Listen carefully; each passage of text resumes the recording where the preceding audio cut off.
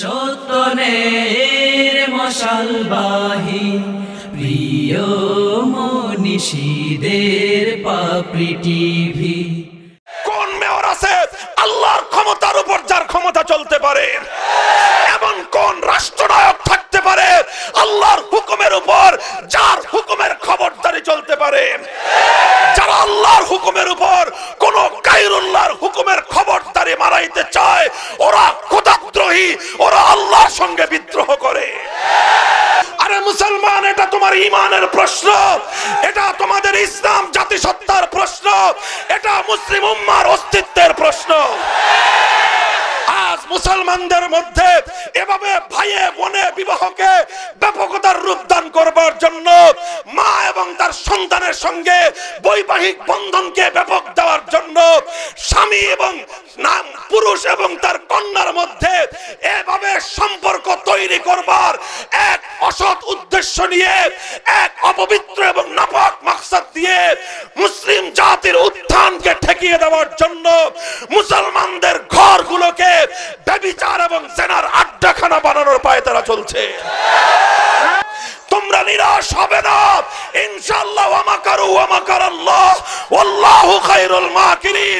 ইসলামের ইসলামের জাগরণকে ঠেকিয়ে দেওয়ার জন্য যতই ষড়যন্ত্র করুক না কেন রহমতে আলেম সমাজ জমিনের মধ্যে জিন্দা আছেন। সমস্ত ষড়যন্ত্রের দাঁত ভাঙ্গা জবাব দেওয়া হবে দাঁত ভাঙ্গা জবাব দেওয়া হবে।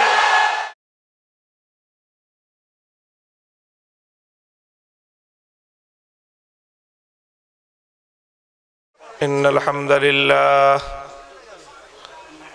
نحمده ونستعينه ونستغفره ونؤمن به ونتوكل عليه ونشهد أن لا إله إلا الله وحده لا شريك له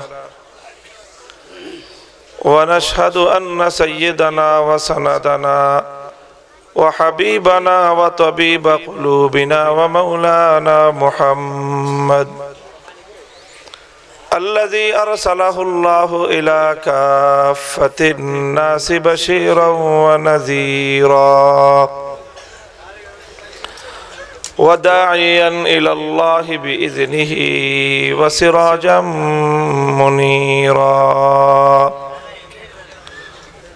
أما بعد فأعوذ بالله من الشيطان الرجيم. بسم الله الرحمن الرحيم. يا أيها الذين آمنوا استعينوا بالصبر والصلاة. إن الله مع الصابرين. وقال رسول الله صلى الله عليه وسلم ما من شيء أحب إلى الله من قطرتين. قطرة دم تهراق في سبيل الله وقطرة دمع تقع في مخافة الله. أو كما قال عليه الصلاة والسلام بارك الله لنا ولكم في القرآن العظيم.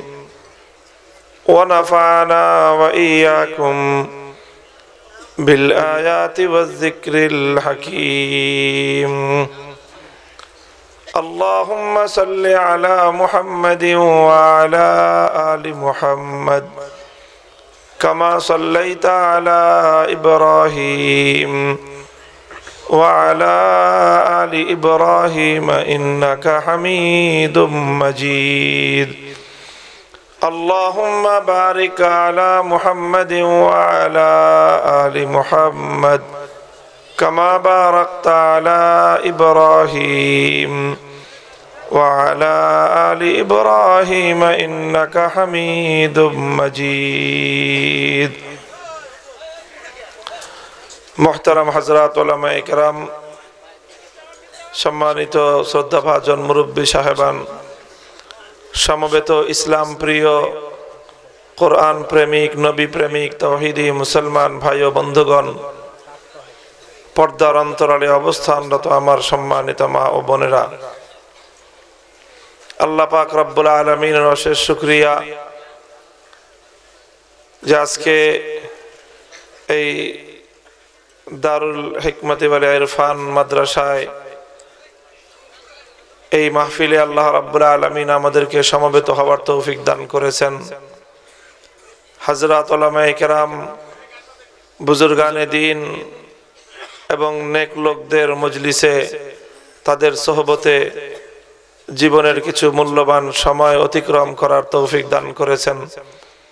রব্বে করিমের বড়ই মেহরবানি এই জন্য আল্লাহ পাক রব্বুল আলমিনের দরবারে কালিমাত শকরের হাদিয়া পেশ করি, আলহামদুলিল্লাহ।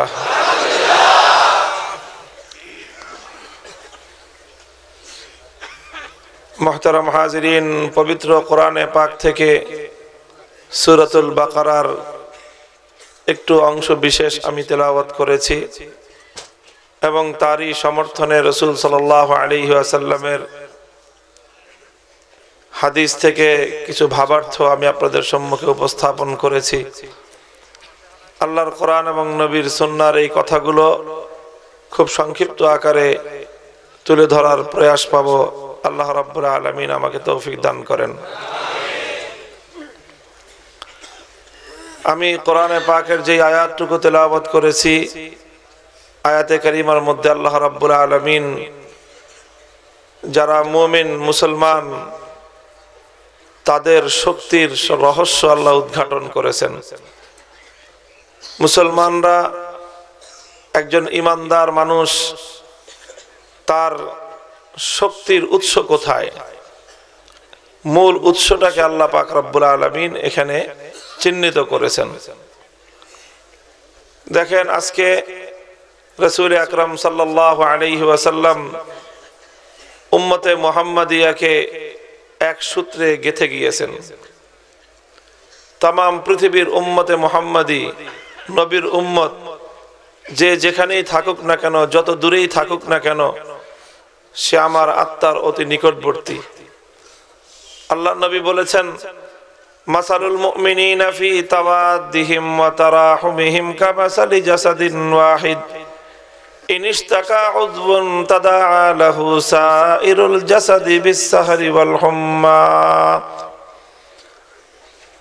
পৃথিবীর উম্মত, তারা হলো একটা মানব দেহের ন্যায়।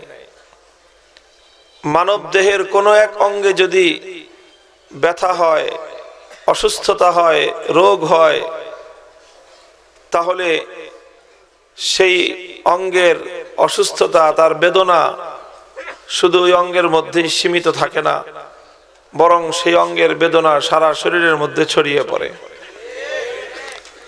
যদি পায়ের তলার মধ্যে একটা বিস্ফোরা হয়, তো সেই বিষ ফোড়ার বেদনা কি পায়ের মধ্যেই সীমিত থাকে? ওই বিষ ফোড়ার ব্যথায় যখন জ্বর আসে, তো জ্বরে কি শুধু পা গরম হয় না সারা শরীর গরম হয়? তাদা আলাহু সাইরুল জাসাদ। বিসাহারি ওয়াল হুম্মা, সারা শরীর গরম হয়ে যায় কেন? পায়ের আঙ্গুলের মাথায় একটা কাটা বিদ্ধ হয়েছে। পায়ের আঙ্গুলের মাথায় সামান্য একটু কাটা বিদ্ধ হলে সারা শরীর গরম হয়ে যায়। চোখের মধ্যে সামান্য একটু খোঁচা লাগলে সারা শরীর গরম হয়ে যায়। একটা দাঁতের মধ্যে ব্যথা হলে সারা শরীর চিৎকার শুরু করে, বেতনায় বেদনায় নীল হয়ে যায়।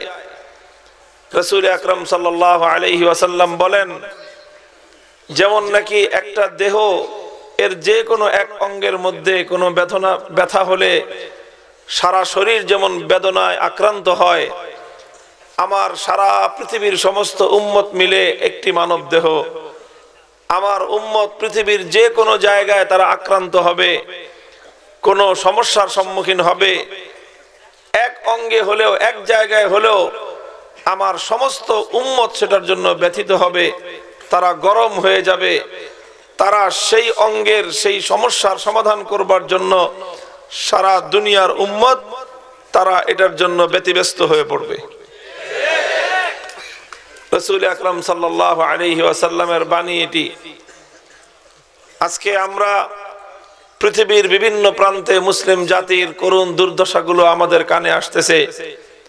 মুসলমানরা সারা পৃথিবীর বিভিন্ন জনপদে আজকে নিগৃহীত। তারা জুলুমের শিকার।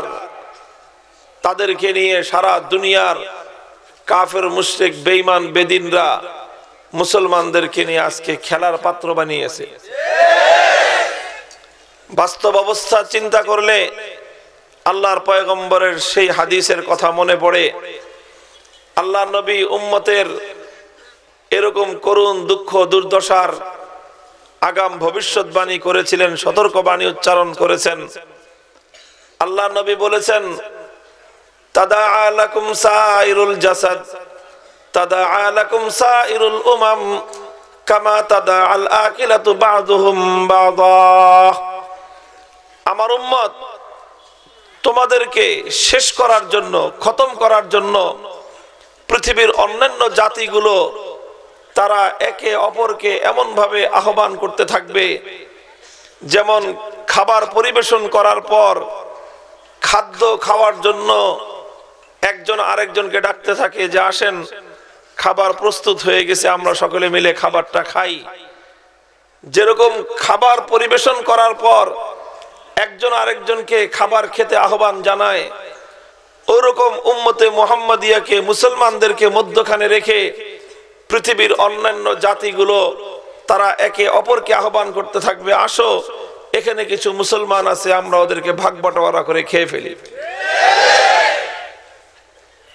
যেমন একটা মুরগি মোরগ মুসাল্লাম করে রোস্ট বানায়, এটাকে যদি একটা প্লেটের মধ্যে রাখে, চারজন, পাঁচজন খাবার খাবে, তখন ওই খাবারের মধ্যখানে মোরগটাকে রেখে চার পাঁচজন এটা কীভাবে খায়? একজন ঠ্যাং ধরে, আরেকজন গলা ধরে, আরেকজন পাখনা ধরে, চারদিক থেকে টান দিলে যেরকম সাধারণ খাবারটা, মুরগিটা ছিন্ন ভিন্ন হয়ে যায়। আল্লাহর পয়গম্বর বলেছেন, আমার উম্মতকে নিয়ে পৃথিবীর অপর অপর জাতিগুলো এরকম ভাবে তারা নিঃশেষ করে দেওয়ার জন্য পরস্পর সহযোগিতা নিয়ে তারা মাঠে মাঠে নামবে। সাহাবা একরাম প্রশ্ন করেছিলেন ওয়ামিন কিল্লাতিনা ইয়াউমাইযি ইয়া রাসূলুল্লাহ। ওগো আল্লাহর পয়গম্বর, এমন করুণ পরিণাম আমাদের কেন হবে?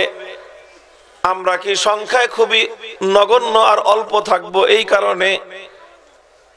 আমাদের সংখ্যায় স্বল্পতার কারণে আমাদেরকে নিয়ে পৃথিবীর অন্যান্য জাতিগুলো এমন তামাশা করবে। কেন করবে এমন? আমরা কি সংখ্যায় অল্প থাকব? আল্লাহর পয়গম্বর জবাব দিলেন না, তোমরা সংখ্যায় কম থাকবে না। বল ইয়াউমাইযিন কাসীর। সংখ্যায় থাকবে তোমরা অনেক বেশি। গণনা করতে গেলে শত কোটি পার হয়ে যাবে তোমাদের মাথার সংখ্যা। দেড়শো কোটি, পনে দুইশো কোটি থাকবে তোমরা সংখ্যায়। ওয়ালাকিন্নাকুম গুসাউন কা গুসা ইসাইল সংখ্যায় অনেক বেশি থাকলে কি হবে? তোমাদের কোয়ান্টিটি অনেক বেশি হবে, কিন্তু তোমাদের কোয়ালিটি ডাউন হবে। সংখ্যা অনেক হবে, কিন্তু তোমাদের সংখ্যার ভিতরে কোনো ওজন থাকবে না। কোনো ওয়েট থাকবে না, হালকা হবে, হালকা। সংখ্যা যতই হোক, দেখেন না যে ট্রাকের মধ্যে, মাঝে মাঝে মাঝে, উত্তরবঙ্গ থেকে খড় আনে খড়। আমাদের বাংলাদেশ ঢাকার আঞ্চলিক ভাষায় বলে খ্যার আপনাদের এলাকায় খ্যার বলে না? দেখবেন ট্রাকের উপরে খ্যার উঠাইছে উরি বাপরে বাপ। মনে হয় বিশ হাত উপরে উঠেছে এত খ্যার একটা ট্রাকে আনছে। কিন্তু এরপরেও ওটা ওজন স্কেলে উঠাইলে পাঁচ টন হয় না। আর রড উঠাইছে ট্রাকের তলানিতে পড়ে রয়েছে। ওটা স্কেলের ওজনে উঠাইলে দেখা যায় যে বারো টন হয়ে গেছে। তো খ্যার যতই হোক না কেন, এটার কোনো ওজন নাই। যেমন শুকনো পাতা, শীতকাল এই যে, শীতকাল আসছে, দেখবেন গাছের পাতাগুলো সব শুকায় সব পাতা ঝরে থাকবে।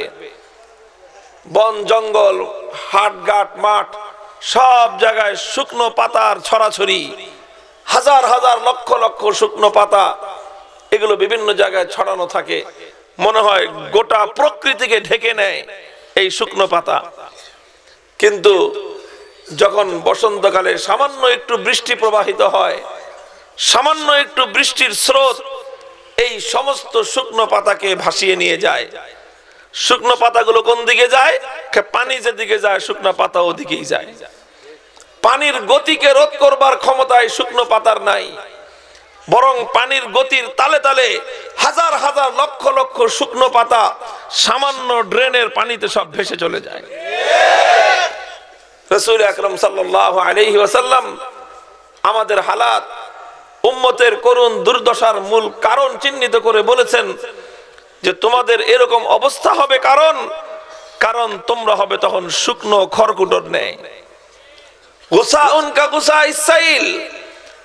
তোমাদের অবস্থা হবে শুকনো খড়কুটোর নেই শুকনো খড়কুটো সংখ্যায় যতই হোক, সামান্য পানির স্রোতে, পানির স্রোতের দিকে এরা ভাসতে থাকে। এরা পানির স্রোতকে রুখে দাঁড়াতে পারে না, বরং স্রোতের গতিতে এরা ভেসে চলে যায়।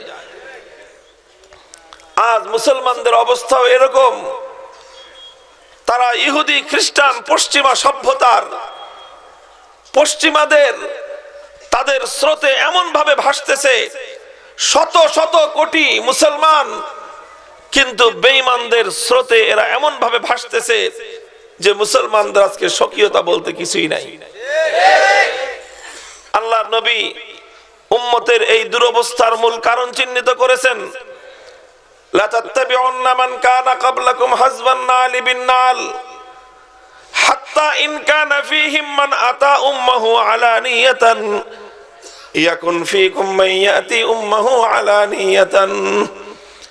আল্লাহর পয়গম্বরের সাথ করেছেন, আমার উম্মতের লোকেরা, তারা ইহুদি আর খ্রিস্টানদের এমন ভাবে অনুকরণ করতে থাকবে, এমন অন্ধভাবে অনুসরণ করতে আরম্ভ করবে। যে প্রতি কদমে কদমে তারা ইহুদি আর খ্রিস্টানদের পশ্চাৎপদ অবলম্বন করবে। প্রত্যেক কদমে কদমে তারা ইহুদি আর খ্রিস্টানদের অন্ধ অনুকরণ করবে। যেদিকে ইহুদি খ্রিস্টানরা যাবে, মুসলমানরা মনে করবে এদিকে যাওয়ার মধ্যেই কামিয়াবি। এমন ভাবে তারা ইহুদি খ্রিস্টানদের অনুকরণ করবে। ইহুদি খ্রিস্টানরা গিয়ে যদি একটা গুই সাপের গর্তের মধ্যে ঢুকে তাহলে তার পিছনে পিছনে মুসলমানও ছুটবে। মনে করবে গুই সাপের গর্তে যেহেতু ইহুদি ঢুকছে, সুতরাং গুই সাপের গর্তে ঢুকাই হলো আজকের নতুন ফ্যাশন। এই হবে মুসলমানের অবস্থা। যদি শিয়ালের গর্তে গিয়ে কোনো খ্রিস্টান ঢুকে, মুসলমানের বাচ্চাও ওর পিছনে পিছনে গিয়ে শিয়ালের গর্তে ঢুকবে। ওরে যদি আপনি জিজ্ঞাসা করেন, কিরে তুই শিয়ালের গর্তে ঢুকুস কেন? তো বলব, আরে খ্রিস্টান ঢুকছে। এই জন্য আমি ওর পিছনে পিছনে ঢুকতেছি। কারণ খ্রিস্টানরা বেশি বুঝে। এই জন্য ওরা শিয়ালের গর্তে ঢুকছে, তাহলে শিয়ালের গর্তে ঢুকার মধ্যেই কামিয়াবি আছে। এই হবে মুসলমানদের মানসিকতা। এরপরে আল্লাহ নবী যে কথাটা বলেছেন, এটা যদি নবীজি না বলতেন, তাহলে এই কথা উচ্চারণ করার মতো সাহস আমাদের হতো না। এটা আমরা কল্পনাও করতে পারতাম না। আল্লাহ নবী বলেছেন, হাত্তা ইনকানা ফিহিম মান আতা উম্মাহু আলানিয়াতান যদি ইহুদি খ্রিস্টানদের মধ্যে এমন কেউ অতিক্রান্ত হয়ে থাকে যে তার মায়ের সাথে প্রকাশ্যে জেনা করে, তাহলে তোমাদের মধ্যে এমন কুলাঙ্গার জন্ম নিবে যে বলবে যে এখন আর গার্লফ্রেন্ডের সাথে নয়, এখন আর প্রেমিকার সাথে নয়, এখন মায়ের সাথে ব্যবিচার করা হলো আধুনিক ফ্যাশন। এই কথা বলে ইহুদি খ্রিস্টানদের অন্ধ অনুকরণে নিজের মায়ের সঙ্গে ব্যবিচারে লিপ্ত হবে। ইহুদি খ্রিস্টানদের পশ্চিমাদের অন্ধ অনুকরণ আজ আমাদের মুসলিম জাতিকে কোন পর্যায় পর্যন্ত নিয়ে পৌঁছিয়েছে? আল্লাহ নবীর সেই কথাগুলো বিভিন্ন সময় বিভিন্ন সংবাদ পড়লে মনে হয় যে অক্ষরে অক্ষরে বাস্তবায়িত হয়েছে। গত বছর খানিক আগে বাংলাদেশের জাতীয় মিডিয়াগুলোতে বিভিন্ন ইলেকট্রনিক মিডিয়ায় একটা সাক্ষাৎকার এবং একটা সংবাদ প্রকাশ করা হয়েছিল। একেবারে মূল স্ট্রিমের মেইন যে মিডিয়া যেগুলো আছে সেগুলোতে একটা মহিলার সাক্ষাৎকার। সামাজিক যোগাযোগ মাধ্যমে বিভিন্ন পত্রিকা আমিও পড়েছিলাম সংবাদটা। একজন মহিলা সে চাকরি করে, উচ্চ পদস্থ একজন কর্মকর্তা, কোনো একটা বেসরকারি অফিসে চাকরি করে। সেই মহিলা তার সন্তানকে নিয়ে, তার মেয়েকে নিয়ে গেছে কোনো একটা হাসপাতালে চেক আপ করাতে। মেয়েটাকে নিয়ে গেছে, তার মেয়ে স্কুল পড়ুয়া এইট নাইন পরে মেয়েটাকে নিয়ে গেছে একটা হাসপাতালে চেক আপ করাতে। কিসের চেক আপ তার সন্দেহ হলো তার মেয়ে প্রেগনেন্ট তার মেয়ে গর্ভবতী, বিয়ে হয়নি। চেক করেছে, হাসপাতালে ভালো করে চেক করার পর ডিএনএ টেস্ট করে। তারপরে যেই খবর বের হয়ে আসছে সেটা হলো, এই মহিলার স্বামীর সঙ্গে তার ছাড়াছাড়ি হয়ে গেছে। তার স্বামী একজন অবসরপ্রাপ্ত সেনা কর্মকর্তা। যখন মা বাবার ছাড়াছাড়ি হয়ে গেছে মেয়েটা কিছুদিন মায়ের কাছে থাকে, কিছুদিন বাবার কাছে যায়। তো এই মহিলা তার মেয়েকে তার বাবার কাছে পাঠাতে চায় না, ভয় পায়। কিসের ভয়?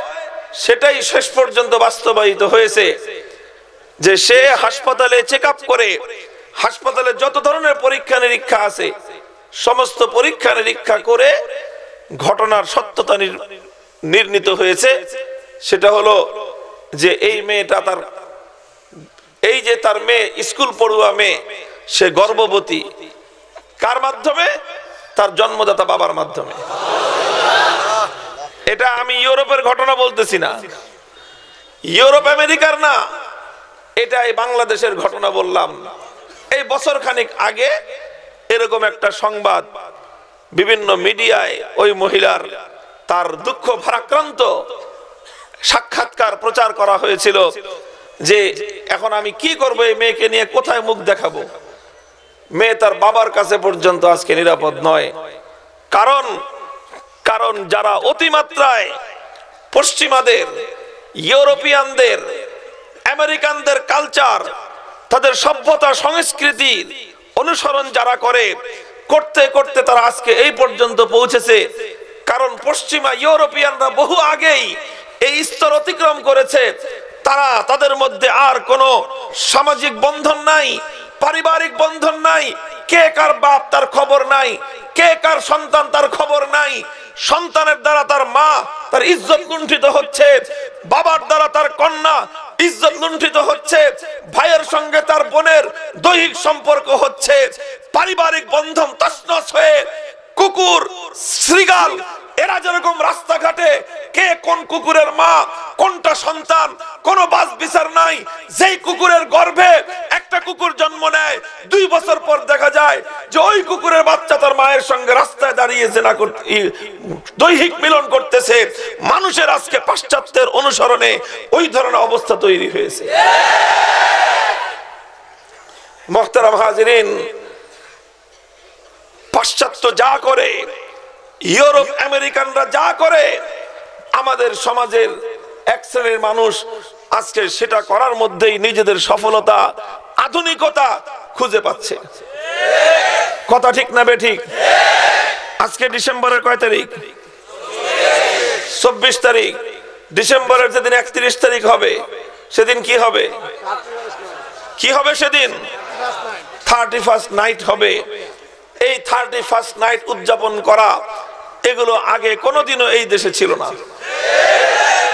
আমাদের বাপদাদারা তো দূরের কথা, আমরাই আমাদের জীবনের সূচনাকালে, আমাদের শৈশবকালে আমরা এই থার্টি ফার্স্ট নাইট নামক কিছুই দেখি নাই।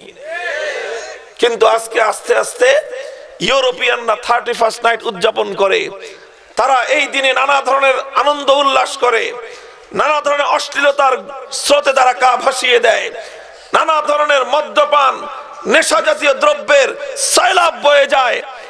তাদের দেখা দেখি আজকে বাংলাদেশে থার্টি ফার্স্ট নাইট নামক এক নতুন কালচার আমদানি করা হয়েছে।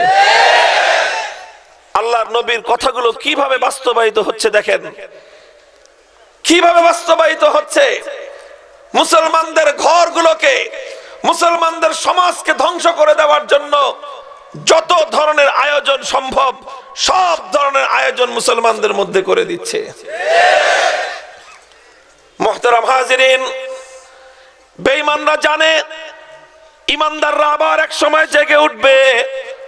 ওদের জানা আছে, এই যে আজকে উম্মতে মুসলিমার আজকে যে অধপতন, সারা দুনিয়া জুড়ে মুসলিম জাতির আজকে অধপতন, এটাই মুসলমানদের চূড়ান্ত পরিণাম নয়। বরং এই অধপতনের পরে আবার মুসলমানরা জেগে উঠবে ইনশাআল্লাহ। জাগরণ ঘটবে মুসলমানদের, সারা দুনিয়া জুড়ে মুসলমানরা আবার জেগে উঠবে। মুসলমানদের সেই জাগরণ রুখে দেওয়ার শক্তি কারণ নাই। আল্লাহর পয়গম্বর ভবিষ্যৎবাণী করেছেন, আমার নবী মুহাম্মদ আরবি সাল্লাল্লাহু আলাইহি ওয়াসাল্লাম, ওয়া হুয়া সাদিকুল মাসদুক। আল্লাহর পয়গম্বর ইরশাদ করেছেন ইয়াবকা আলা যাহরিল আরদি বাইতু মাদারিন ওয়ালা ওয়াবার ইল্লা আদখালাহু আল্লাহুল ইসলাম। ইম্মা বিইজ্জি আজিজ ওয়া ইম্মা বিজিল্লি জালিল। আল্লাহর পয়গম্বর বলেছেন, সারা পৃথিবীতে এমন একটা ঘর অবশিষ্ট থাকবে না। চাই সেটা কাঁচা ঘর হোক অথবা পাকা ঘর হোক। কাঁচা ঘর মানে হলো এই, চাই সেটা মাটির ঘর হোক, ছনের ঘর হোক এমনকি বেদুইন পাড়ার, এমনকি বেদে পল্লীর নৌকার একটা ছাউনি হোক, অথবা সেটা পাকা ঘর, ইমারত হোক, বিল্ডিং হোক, আকাশ প্রাসাদ হোক, সারা দুনিয়ায় গ্রাম হোক, শহর হোক, এমন একটা ঘর অবশিষ্ট থাকবে না, যেই ঘরের মধ্যে আল্লাহর দিন বিজয়ী বেশে প্রবেশ না করবে। সারা দুনিয়া ইসলাম বিজয় বিজয় করবে। আমেরিকার ওয়াশিংটনের হোয়াইট হাউসের মাথার উপর কালেমার পতাকা উঠবে মস্কোর রাজপথে আল্লাহু আকবরের ধ্বনি উঠবে। চায়নার পিকিং এর পথে পথে আল্লাহু আকবরের ধ্বনি উঠবে দিল্লির লাল কেল্লা আবার ইসলাম শাসন করবে। রুখে দেওয়ার সাধ্য দুনিয়ার কোনো ক্ষমতার নয়।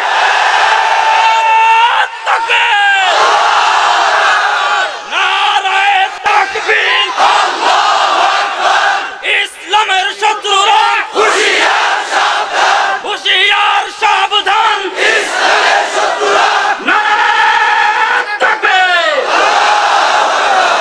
ওরা জানে, ওরা আল্লাহর নবীর এই সমস্ত হাদিসগুলো নিয়ে গবেষণা করে।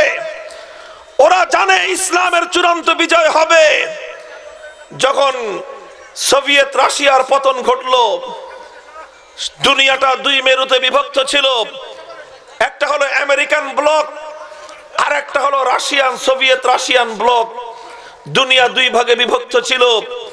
বাংলাদেশের স্বাধীনতার সময় ভারত ছিল রাশিয়ান ব্লকে, পাকিস্তান ছিল আমেরিকান ব্লকে। এই জন্য বাংলাদেশের স্বাধীনতার বিরোধিতা করেছিল আমেরিকা। আপনারা জানেন, আমেরিকা বাংলাদেশের স্বাধীনতা বিরোধিতা করেছিল। কারণ পাকিস্তান ছিল আমেরিকার পক্ষে। আর ভারত ছিল রাশিয়ার পক্ষে। আমাদের দেশে স্বাধীনতা শুধু আমরাই লড়াই করি নাই। আমাদের দেশের স্বাধীনতা নিয়ে ভারত পাকিস্তানের লড়াই ছিল। আমাদের দেশের স্বাধীনতা নিয়ে সোভিয়েত ইউনিয়ন আর আমেরিকার লড়াই ছিল। এজন্য তখন অনেকে বলতো, দুই সাম্রাজ্যবাদী কুকুরের লড়াই। বলতে চাই, যখন সোভিয়েত ইউনিয়নের পতন ঘটলো, কাদের হাতে পতন ঘটেছিল? আফগানিস্তানের কিছু মোল্লা মৌলবীদের হাতে এমন পিটানি খেয়েছিল সোভিয়েত ইউনিয়ন, ভেঙ্গে খান খান হয়ে গেছে। সোভিয়েত ইউনিয়ন যখন ভেঙ্গে টুকরো টুকরো হয়ে গেল, পরাশক্তির আসন থেকে তার পদচ্যুতি ঘটলো। পৃথিবীতে একক শক্তি হিসেবে আমেরিকা আবির্ভূত হলো। পৃথিবীর হাজার বছরের ইতিহাস বলে, একটা শক্তি এককভাবে খুব বেশি দিন পৃথিবীতে থাকতে পারে না। একটা শক্তির যখন পতন ঘটে আরেকটা শক্তি যখন অপ্রতিদ্বন্দ্বী হয়ে উঠে অচিরেই দেখা যায় দ্বিতীয় আরেকটা শক্তির উত্থান ঘটতে থাকে। এটাই হলো পৃথিবীর বাস্তবতা। যখন সোভিয়েত রাশিয়ার পতন ঘটলো, তখন আমেরিকার কাছে সবচেয়ে গুরুত্বপূর্ণ প্রশ্ন ছিল, পরবর্তী আরেকটা শক্তির যে উত্থান ঘটবে পৃথিবীর ইতিহাসের অনিবার্য বাস্তবতায়, সেই শক্তিটা কার হবে, কারা উঠবে জেগে? তখন আমেরিকার যে বিশ্ববিদ্যালয়ে আমেরিকার হার্ভার্ড বিশ্ববিদ্যালয়ের রাষ্ট্রবিজ্ঞানী মিস্টার হান্টিংটন তিনি গবেষণা করে তথ্য দিয়েছিলেন যে আমেরিকার আগামী প্রতিদ্বন্দ্বিতা হবে পৃথিবীর অন্য কোন রাষ্ট্রীয় শক্তির সঙ্গে নয়, বরং আমেরিকার নেতৃত্বে ইহুদি এবং খ্রিস্টবাদের পশ্চিমা বিশ্বের শক্তির সঙ্গে আগামী চূড়ান্ত মোকাবেলা হবে। উম্মতে মুসলিমার সঙ্গে, মক্কা এবং মদিনার নেতৃত্বে জেগে ওঠা উম্মতে মুসলিমার সঙ্গেই আমেরিকার নেতৃত্বাধীন পশ্চিমা শক্তির চূড়ান্ত লড়াই হবে। মোহতারাম হাজিরিন অর্থাৎ তারাও গবেষণা করে আল্লাহর নবীর বাণী, তারাও গবেষণা করে আল্লাহর কোরআনের বাণী, গবেষণা করে করে ওরা নির্ধারণ করেছে যে ওদের আগামী লড়াই হবে মুসলমানদের সঙ্গে। এরপর থেকে ওরা শুরু করল মুসলিম জাতির বিরুদ্ধে ষড়যন্ত্র। যখন আমেরিকা যখন সোভিয়েত ইউনিয়নের সঙ্গে আফগানিস্তান যুদ্ধ করত তখন আফগান মুজাহিদদেরকে বলা হতো স্বাধীনতাকামী। ওই যুগে যখন ইহুদিদের বিরুদ্ধে ফিলিস্তিনের মুজাহিদরা লড়াই করত, তখন ফিলিস্তিনের মুজাহিদদেরকে বলা হতো স্বাধীনতাকামী। প্যালেস্টাইন ফেরত স্বাধীনতার মুক্তিযোদ্ধা, আফগান ফেরত স্বাধীনতার মুক্তিযোদ্ধা। আর যেই নাকি সোভিয়েতের পতন ঘটলো, আফগানিস্তানের মুজাহিদদের লড়াই শুরু হলো আমেরিকার সঙ্গে। সঙ্গে সঙ্গে আমেরিকার সুর পরিবর্তন হয়ে গেল। এখন সেই আফগান যোদ্ধারা হয়ে গেল জঙ্গিবাদী। মোহতারাম হাজিরিন, এত কথা বলা আমার উদ্দেশ্য নয়। আমার উদ্দেশ্য হলো তোমাদেরকে একটা বিষয়ে সচেতনতা তৈরি করা। ও মুসলমান, এভাবে যখন পশ্চিমা বিশ্ব নির্ধারণ করল, তাদের পরবর্তী লড়াই হবে ইসলাম আর মুসলমানদের সঙ্গে। এখন ওদের একটাই চেষ্টা, একটাই চিন্তা এই মুসলমানরা যেন আরও দীর্ঘদিন ঘুমিয়ে থাকতে পারে, মুসলমানরা যেন জেগে উঠতে না পারে। মুসলমানদের মধ্যে যেন আবার সেই চেতনা জাগ্রত না হয়, মুসলমানরা যেন আবার সালাহুদ্দিন আইয়ুবের মতো জেগে না উঠে, মুসলমানদের মধ্যে যেন আবার কোন মোহাম্মদ বিন কাসেম তৈরি না হয়, মুসলমানদের মধ্যে যেন সুলতান মোহাম্মদ আল ফাতেহ যেন তৈরি না হয়। এটাই হলো ওদের চেষ্টা। মুসলিম জাতির মুসলিম জাতি যেন ইমানি চেতনায় উদ্বুদ্ধ না হয়ে উঠতে পারে, এজন্য মুসলমানদের বিরুদ্ধে বহুমুখী ষড়যন্ত্র পরিচালনা হয়। আর সেই সকল ষড়যন্ত্রগুলোর মধ্যে সবচেয়ে বড় ষড়যন্ত্র যেটা, সেটা হলো মুসলিম সমাজগুলোকে তাদের নৈতিক চরিত্রকে ধসিয়ে দেওয়া। এখানে যেন কোনো চরিত্র হিসেবে চরিত্র গড়ে উঠতে না পারে, মুসলিম তরুণ সমাজ যেন চরিত্রবান ইমানদার হিসেবে গড়ে উঠতে না পারে। ইতিহাস থেকে পাওয়া যায়। মুসলমানদের আল্লাহর পয়গম্বরের সৈনিকদেরকে পরাজিত করবার জন্য এক কুটিল ষড়যন্ত্রের ইতিহাস কোরআন এবং হাদিস কোরআন থেকে খুঁজে পাওয়া যায় তফসিরের কিতাবগুলোর মধ্যে। হজরত মুসা আলাইহি সালামের জামানার ইতিহাস। মুসা আলাইহি সালাম তিনি তার সৈনিকদেরকে নিয়ে এক এলাকায় আল্লাহর দিনের জন্য জিহাদে যাবেন। যেই কওমের বিরুদ্ধে যেই জাতির বিরুদ্ধে লড়াই আর যুদ্ধ, সেই জাতির মধ্যে একজন লোক ছিল। সে বড় আল্লাহ ওয়ালা ছিল। তার দোয়া আল্লাহ কবুল করতেন। তার, তাকে বলা হতো মুস্তাজাবুদ্দাওয়াত মানে হলো তার ব্যাপারে তার বুজুর্গি এত বেশি ছিল, এত বড় আল্লাহ ওয়ালা ছিল। আল্লাহর দরবারে হাত তুললে আল্লাহ তার দোয়া কবুল করতেন। এরকম একজন মানুষ ছিল। তো সেই জাতি যাদের বিরুদ্ধে মুসা আলাইহিস সালাম জিহাদ করবেন তারা গিয়ে সব ওই বুজুর্গকে বলল যে এখন তো আমাদের বিরুদ্ধে যুদ্ধ করার জন্য মুসা আসতেছে তার সৈনিকদেরকে নিয়ে। তুমি আল্লাহর কাছে গিয়ে আমাদের জন্য দোয়া করো। আল্লাহ যেন আমাদেরকে বিজয়ী করেন। মুসা নবীর বাহিনীকে যেন আল্লাহ পরাজিত করেন। লোকটা প্রথমে রাজি হলো না, বলল যে দেখো, এটা কিন্তু আল্লাহর নবীর ব্যাপার। আমি যত বড় বুজুর্গই হই না কেন, আমি যদি নবীর বিরুদ্ধে অবস্থান নেই আমার বুজুর্গি থাকবে না। প্রথমে সে এরকম বলল, পরবর্তীতে যেভাবেই হোক, তারা তার ঘরের স্ত্রীকে তারা বশ করল, বিভিন্ন হাদিয়া, তোহফা, উপঢৌকন দিয়ে বিপুল পরিমাণ টাকা, পয়সা দিয়ে তাকে হাত করল, আর ওই হুজুরকে কিছু হারাম মাল খাওয়ায় দিল। খাওয়া দেওয়ার পর এখন সে নিজে সম্মত হলো, ঠিক আছে, আমি তোমাদের সপক্ষে মুসানবীর বিরুদ্ধে আমি দোয়া করব তার দোয়া করার একটা নির্ধারিত জায়গা ছিল। যেখানে গিয়ে সে আল্লাহর হাতে, আল্লাহর কাছে হাত পাতত। তার ইবাদতের খানকার মতো একটা ছিল। ওখানে গিয়ে সে আল্লাহর নবী মুসা আলাইহি সালামের বিরুদ্ধে বদদোয়া করবার জন্য হাত আল্লাহর দরবারে তুললো। আপনারা বলেন তো দেখি, কেউ যদি আল্লাহর কোন নবীর বিরুদ্ধে দোয়া করে, তো সেই দোয়া কবুল করার জন্য আল্লাহ বসে আছেন। আল্লাহর কোন নবী যেই কাজগুলো করেন সেগুলোকে আল্লাহর হুকুমে করেন না আল্লাহর হুকুম ছাড়া করেন? তো মুসা নবী যে আল্লাহর দিনের জন্য যুদ্ধ করতে গেলেন, সেই যুদ্ধ কি আল্লাহর হুকুমে ছিল না আল্লাহর হুকুম ছাড়া ছিল? তো আল্লাহর হুকুমে আল্লাহর নবী যুদ্ধ করতে আসছেন। এখন কেউ যদি এটার বিরুদ্ধে আল্লাহর কাছে দোয়া করে, আল্লাহ সেই দোয়া কবুল করবেন? আল্লাহ পাক রব্বুল আলামিন তার দোয়া কবুল করবেন। তো দূরের কথা, আল্লাহর পক্ষ থেকে ওই লোকের উপর গজব নেমে আসলো। দুটো গজব তার উপরে আসলো। এক নম্বর গজব হলো, সে যা বলতে চায়, মুখ দিয়ে তা বের হয় না, তার উল্টাটা বের হয়ে যায়। সে বলতে চায় মুসানবীর বিরুদ্ধে তার মুখ দিয়ে উচ্চারিত হয় মুসানবীর পক্ষে। সে বলতে চায়, নিজের কওমের পক্ষে তার মুখ দিয়ে উচ্চারিত হয় তার কওমের বিরুদ্ধে। সে যতই বলতে চাক, নবীর বিরুদ্ধে তার মুখ দিয়ে নবীর বিরুদ্ধে কথা উচ্চারিত হয় না। আরেকটা হলো, আল্লাহর আজাব আসলো, তার জিহবাটা বের হয়ে আসলো কুকুরের মতো। কুকুরের জিহবা যেমন তার মুখ থেকে সবসময় বাইরে বেরিয়ে থাকে, তেমনি ভাবে ওই লোক, তার নাম তফসিরের কিতাবুলগুলোর মধ্যে লেখা হয় বালাম ইবনে বাউরা। তার জুবানটাও এরকম জুবান মুখ থেকে বের হয়ে আসলো, তার জিহবা লটকায় গেল। সে সঙ্গে সঙ্গে বুঝতে পারল যে যা আশঙ্কা করেছিলাম, ঘটনা তো সেটাই ঘটে গেছে। আমি নবীর বিরুদ্ধে অবস্থান নিয়ে দোয়া করতে আসছি। আমার বুজুর্গিও শেষ, আমার সব ধ্বংস হয়ে গেছে। আমার উপরে তো আল্লাহর গজব চলে আসছে। কাজে আমার কারিশমা আর আমার সেই কেরামতি আর কোনো কিছুই চলবে না। এখন সে, এখনও সে তওবা করে না। সে এখন তার জাতিকে আরও বেশি মুসা নবীর প্রতি সে বিদ্বেষ প্রসূত হয়ে উঠল। মুসা নবীর বিরুদ্ধে তার কওমকে বিজয়ী করবার জন্য এখন সে উঠে পড়ে লাগল। সে তার জাতিকে বলল, তোমরা যদি মুসা নবীর বিরুদ্ধে বিজয় অর্জন করতে চাও, তাহলে তোমাদের উপায় একটাই আছে। কি উপায়? কে মুসা নবীর সৈনিকদের মধ্যে অনৈতিকতা, চরিত্রহীনতা ছড়িয়ে দাও।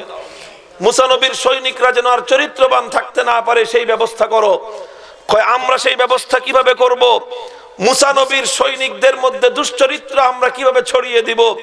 কয় তোমরা এক কাজ করো, তোমাদের কওমের নারী যারা আছে, যুবতী মেয়ে, সমস্ত যুবতী মেয়েদেরকে বলো, সুন্দর করে সাজগোজ করে সমস্ত যুবতী মেয়েরা যেন বিভিন্ন উপায়ে মুসানবীর সৈনিকদের কাছে চলে যায়। তারা মুসানবীর সৈনিকদের কাছে চলে যাওয়ার পর বিভিন্ন ভাবে তাদেরকে ফুসলানোর চেষ্টা করবে।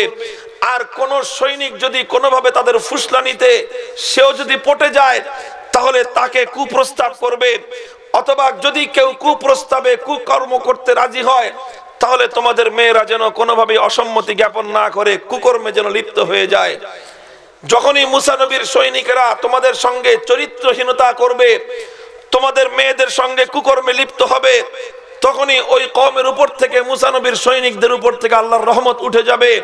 আর আল্লাহর রহমত উঠে গেলেই তোমরা তাদের সঙ্গে যুদ্ধ করে, লড়াই করে বিজয় অর্জন করতে পারবে। যেমনি বুদ্ধি দিল, ওরকম কাজ শয়তানের বুদ্ধি। তারা তাদের সমস্ত সুন্দরী যুবতী রমণীগুলোকে সাজিয়ে গুছিয়ে ছেড়ে দিল মুসানবীর সৈনিকদের মধ্যে। এক একজন এক এক বাহানায় কেউ বাদাম বিক্রি করার জন্য, কেউ পান বিক্রি করার জন্য, কেউ এটা সেটা বিক্রি করার নামে মুসানবীর গোটা সৈনিকদের ছাউনিগুলোর মধ্যে ছড়িয়ে পড়ল। এবং সেখানে গিয়ে ওই সমস্ত যুবতী মেয়েরা মুসানবীর সৈনিকদেরকে ফুসলাইতে আরম্ভ করল। করতে করতে কোনো একজনকে তারা বাগে পেয়ে ফেলল এবং সে এক মেয়েকে কুপ্রস্তাব দিয়ে বসল। সঙ্গে সঙ্গে সেই মেয়ে রাজি হয়ে গেল, তার তো ধান্দাই ছিল এটা। আর ওখানে জেনা সংগঠিত হয়ে গেল। আল্লাহর পক্ষ থেকে গজব নেমে আসলো। তফসিরের কিতাবগুলোর মধ্যে লেখে, এমন গজব নেমে আসলো, সত্তর হাজার সৈনিক এক গজবে তারা ধ্বংস হয়ে গেল। মোহতারাম হাজিরিন, কোরআনের তফসিরের ইতিহাস ঘটনা বলে যে আল্লাহর পয়গম্বরের সৈনিকদেরকে পরাজিত করবার জন্য তাদের মধ্যে চরিত্রহীনতা ছড়িয়ে দেওয়া হয়েছিল। এটা ছিল সেই যুগের ইহুদিদের তাদের ষড়যন্ত্র।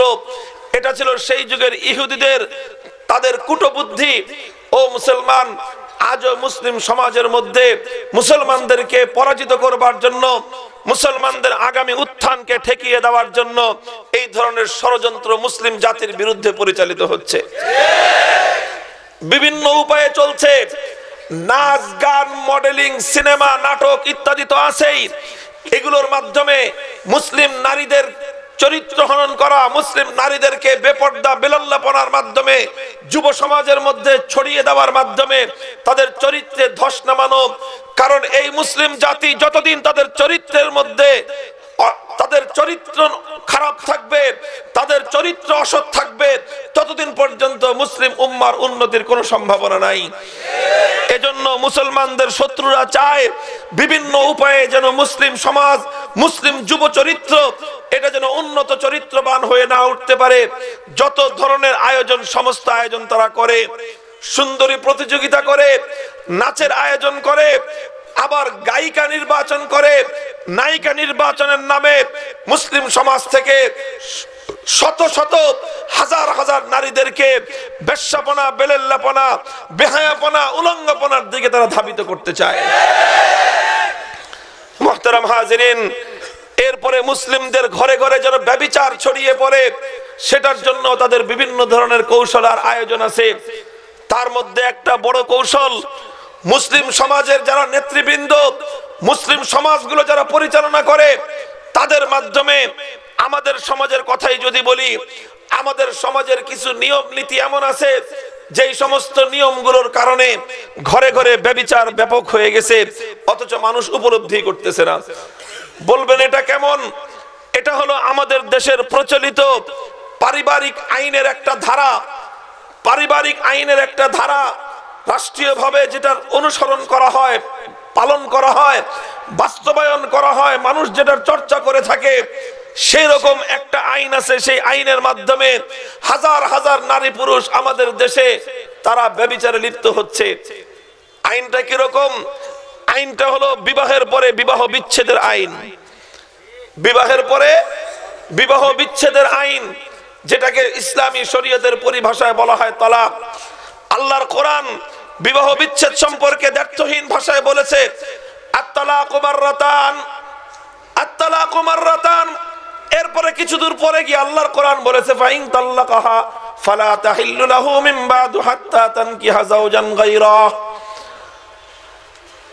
ইসলামী শরীয়তের বিধান হলো, কোন নারী পুরুষের মধ্যে যখন বৈবাহিক বন্ধন প্রতিষ্ঠিত হবে, বৈবাহিক বন্ধন প্রতিষ্ঠিত হওয়ার পর কোনো কারণে যদি তারা একে অপর থেকে বিচ্ছিন্ন হতে চায়, একসঙ্গে যদি সংসার করতে না চায়, তাহলে একসঙ্গে এই সংসার ভেঙ্গে দেওয়ার ব্যবস্থার নাম হলো বিচ্ছেদ তথা তালাক। কথা ঠিক? একসঙ্গে যদি সংসার আর করতে না চায়, বনিবনা হচ্ছে না, সুখ হচ্ছে না সংসারে, একসঙ্গে তাদের পক্ষে স্বামী স্ত্রী হিসেবে থাকা সম্ভব নয়। তখন বিবাহ ভেঙ্গে দেওয়ার ব্যবস্থার নাম হলো তালাক। আল্লাহর কোরআন বলেছে, একটা নারী আর একজন মুসলিম পুরুষের মধ্যে যখন বিবাহ বন্ধন হয়, তখন সেই বিবাহ বন্ধন বিবাহ বন্ধন কীভাবে হয়? একটা নারী আর একটা পুরুষের জন্য বৈধ হয় কীভাবে? একটা পুরুষ আর একটা নারীর জন্য বৈধ হয় কীভাবে? শুধু রাষ্ট্রীয় আইনে বৈধ হয় না, সামাজিক আইনেও বৈধ হয় না একটা নারী আর একটা পুরুষের জন্য তখনই বৈধ হয় যখন আল্লাহর কোরআন হুকুম মেনে যখন বিবাহ বন্ধন হয়। বৈধ হয় কখন? আপনি আজকে একটা নারীকে যদি আপনি ভোগ করেন, সেটা হবে হারাম, অবৈধ আর সেই নারীটাকেই যদি আপনি আল্লাহর কোরআনের হুকুম মোতাবেক শরীয়তের হুকুম মেনে বিবাহ বন্ধনের মাধ্যমে যদি তার সঙ্গে সম্পর্ক করেন, তাহলে সেটা ব্যবিচার হবে না, বরং সেটা হবে পবিত্র দাম্পত্য সম্পর্ক। ব্যবিচারের মাধ্যমে যদি কোনো সন্তান জন্মগ্রহণ করে, সেই সন্তানের নাম হয় হারামজাদা। আর বৈধ উপায়ে সন্তান জন্মগ্রহণ করলে, সেই সন্তানটা হয় সমাজের কাছে একটা গৌরবজনক, আনন্দদায়ক সন্তান। কিন্তু বিবাহ বন্ধন হয় কীভাবে? বিবাহ বন্ধন কোন রাষ্ট্রের আইনের মাধ্যমে হয় না। বিবাহ বন্ধন কোন সরকারের আইনের মাধ্যমে হয় না। একজন নারী তখনই আর একজন পুরুষের জন্য বৈধ এবং হালাল হয়। যখন আল্লাহর দিনের শরীয়তের হুকুম মেনে তারা পরস্পর বিবাহ বন্ধনে আবদ্ধ হয়।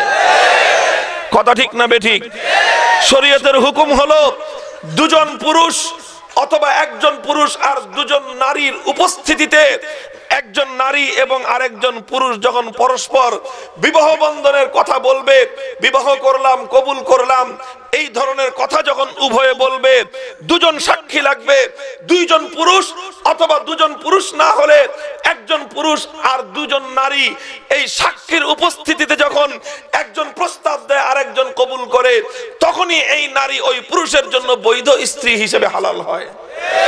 কথা ঠিক না বেঠিক যদি সেখানে দুইজন সাক্ষী না থাকে, সাক্ষী আছে চন্দ্র তারা। সাক্ষীকে আসমান জমিন। সাক্ষী হলো আসমান জমিন, গরু, ছাগল, পাহাড়, পর্বত, সারা দুনিয়ার গাছপালা সব সাক্ষী মানলেন। আর হাজার বার যদি কোনো কোনো মহিলা, কোনো পুরুষ, তারা যদি একজন আরেকজনকে লক্ষ কোটি বারো বলে, বিবাহ করলাম, বিবাহ বসলাম, কবুল করলাম, ইজাব করলাম এই স্বামী আর এই নারী এবং এই পুরুষের মধ্যে বৈবাহিক বন্ধন শরীয়ত মোতাবেক শুদ্ধ হবে? তাহলে একজন নারী আর একজন পুরুষের জন্য বৈধ হয় কখন? যখন আল্লাহর হুকুম মেনে তারা বিবাহ বন্ধনে আবদ্ধ হয়। তাহলে বিবাহ বন্ধন আবদ্ধ হয় কখন? যখন আল্লাহর হুকুম মেনে দুজনের মধ্যে বিবাহের বন্ধন হয়, তাহলে বিবাহ বিচ্ছেদ হবে কখন? যখন তারা আল্লাহর হুকুম মোতাবেক বিচ্ছেদ করবে, তখনই কেবলমাত্র একজন নারী আর পুরুষের মধ্যে বিচ্ছেদ হয়ে যাবে। কোরআন বলেছে, একজন স্বামী তার স্ত্রীকে সর্বোচ্চ তিনবার তালাক প্রদান করতে পারে। কয়বার? তিনবার। তিনবার সে তালাক প্রদান করতে পারে। এরপরে কোরআন বলেছে, যদি কোন পুরুষ তার স্ত্রীকে তিনবার তালাক প্রদান করে, ফালা তাহিল্লু মিন বাদু হাত্তা তানকিহা যাওজান গায়রা। কোন পুরুষ তার স্ত্রীকে তিনবার তালাক প্রদান করবার পর, এই স্ত্রী আর এই স্বামীর জন্য কোশ্চিন কালেও বৈধ হবে না। হাত্তা তানকিহা যাওজান গায়রা। উপায় একটাই, সেটা হলো এই মেয়ে এখান থেকে ইদ্যত পালন করে চলে যাবে। চলে যাওয়ার পর যদি সে আরেকবার অন্য কোথাও বিবাহ বন্ধনে আবদ্ধ হয় দ্বিতীয় স্বামীর সাথে, সেই দ্বিতীয় স্বামীর সঙ্গেও যদি আবার কোনো কারণে ছাড়াছাড়ি হয়ে যায়, তখনই কেবলমাত্র প্রথম স্বামী আবার নতুন বিবাহ বন্ধনের মাধ্যমে ওই ওই নারীকে আবার স্ত্রী হিসেবে গ্রহণ করতে পারে। এছাড়া ওই নারী এই পুরুষের জন্য বৈধ হওয়ার ভিন্ন কোনো পন্থা নাই। মোহতারাম হাজিরিন, জটিল একটা কথা আমি বলতেছি। আজকে আমাদের সমাজ কোন দিকে যাচ্ছে এই বিষয়টা বোঝানোর জন্য আপনাদেরকে অনেক গোড়ার দিকে নিয়ে আসলাম। কথাটা খুব জরুরি, বুঝতে হবে আপনাদেরকেও। একজন পুরুষ যদি তার স্ত্রীকে যে কোনো ভাবেই হোক, রাগের মাথায় হোক, উত্তেজনার বশবর্তী হয়ে হোক, অথবা যেভাবেই হোক, সে যদি তার স্ত্রীর সঙ্গে তালাক শব্দ উচ্চারণ করে, একটি, দুটি, তিনটি বা তার চেয়ে অধিক তাহলে সঙ্গে সঙ্গে এই স্ত্রী তার জন্য হারাম হয়ে যাবে। আমাদের দেশে অনেকে আইসা হুজুরদেরকে জিজ্ঞাসা করে যে, হুজুর, রাগের মাথায় বলে ফেলাইছি। রাগের মাথায় তিন কথা বলে ফেলেছি এখন কি হবে? আচ্ছা বলেন তো, স্ত্রীকে মানুষ তালাক দেয় রাগে না মহব্বতে? কি বলেন? ভালোবাসা উঠলে উঠতে স্ত্রীকে তালাক দেয় না রাগে রাগ উঠলে তালাক দেয়? তো রাগ উঠলে তো রাগেই তো তালাক দিবা। তুমি কি ভালোবাসার মাথায় স্ত্রীকে আবার কেউ তালাক দেয় নাকি আহাম্মক জানে কথাকার কথা ঠিক না বে ঠিক? কয়, হুজুর, মাথা ঠিক ছিল না কি কইছি? কয়, তোর মাথা ঠিক ছিল না যে তোর তালাক দিছো কারে? তোর মায়ের না তোর বোনের না তোর বউরে? কয়, না, তালাক তো দিছি বউরেই। কয় তোর মাথাটা কীরকম খারাপ হলো যে তুমি কোনটা মা সেটাও চিনো, কোনটা মেয়ে সেটাও চিনো, কোনটা বোন সেটাও চিনো? তালাক দিতে হবে বউরে, এটাও তুমি চিনো। তো তোমার মাথাটা খারাপ হলো কেমনে?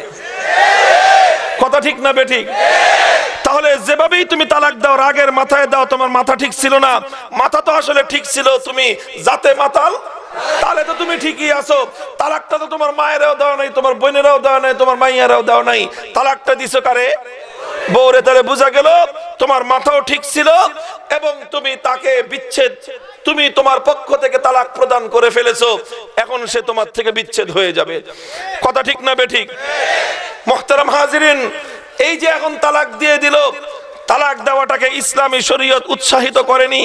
আল্লাহর নবী বলেছেন আবগাজুল হালাল ইলাল্লাহি আত-তালাক। দুনিয়াতে আল্লাহর নিকট আল্লাহ পাক যে সমস্ত কাজের অনুমোদন দেন, কিন্তু আল্লাহ মারাত্মক অপছন্দ করেন। তার মধ্যে আল্লাহর নিকট সবচেয়ে ঘৃণিত কাজ হলো অযথা অপ্রয়োজনে স্ত্রীকে তালাক প্রদান করা। আল্লাহ এটা পছন্দ করেন না। আচ্ছা বলেন তো, এখন এই যে তালাকটা দিয়ে দিল, এখন এখন একটা আইন তৈরি করা হলো যে এই যে সে তালাক দিয়েছে, এই তালাক দেওয়ার আগে সে যদি চেয়ারম্যানের পারমিশন না নেয়, মেয়রের পারমিশন না নেয়, তাহলে তার এই তলাক কার্যকর হবে না।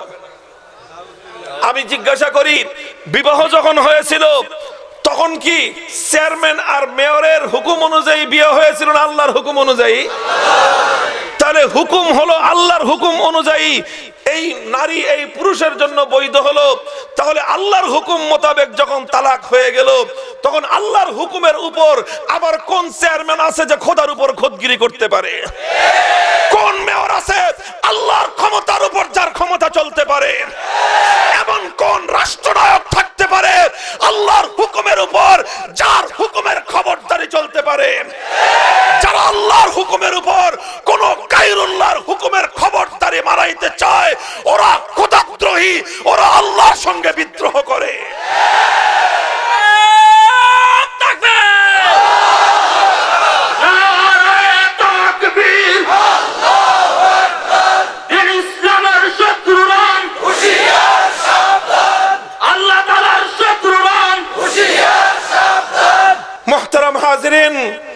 দেখেন, এখন বিষয়টাকে এমন ভাবে জটিল করা হয়েছে, একটা আইন তৈরি করা হয়েছে, সিস্টেম করা হয়েছে, আল্লাহর হুকুমের কোনো তোয়াক্কা করা হয় নাই, কোরআন, সুন্নার কোনো তোয়াক্কা করা হয় নাই, আল্লাহর হুকুম, আল্লাহর দিন এবং শরীয়তের কোনো তোয়াক্কা করা হয় নাই, বরং নিজেদের পক্ষ থেকে আইন তৈরি করে দিয়েছে। যদি অনুমতি ছাড়া তালাক দেয়, তাহলে তালাক হবে না। চেয়ারম্যানের পারমিশন মেয়রের পারমিশন ইত্যাদি সিটি কর্পোরেশনের পারমিশন ছাড়া যদি একবার, দুইবার, তিনবার চোদ্দ বার হাজার বারো যদি সে তালাক দেয়, তাহলে তার এই তালাক কার্যকর হবে না। এর চেয়ে বোকামি পূর্ণ কথা, এর চেয়ে গাজাখুরি দ্বিতীয় আর কোনো কথা হতে পারে না। এই কথার দৃষ্টান্ত অনেকটাই ওরকম। আচ্ছা বলেন তো অন্যায় ভাবে গুলি করে কোনো মানুষকে খুন করা আইন অনুযায়ী বৈধ না অবৈধ? এখন কোন খুনি যদি আরেকজনকে গুলি করে, অবৈধভাবে অন্যায় ভাবে অন্যায় ভাবেই তো গুলি করল, অবৈধভাবেই গুলি করল, গুলিটা গিয়ে তার মাথার মধ্যে লাগল, এখন অবৈধভাবে গুলি করেছে, অন্যায়ভাবে গুলি করেছে, এজন্য কি লোকটা মরবে না?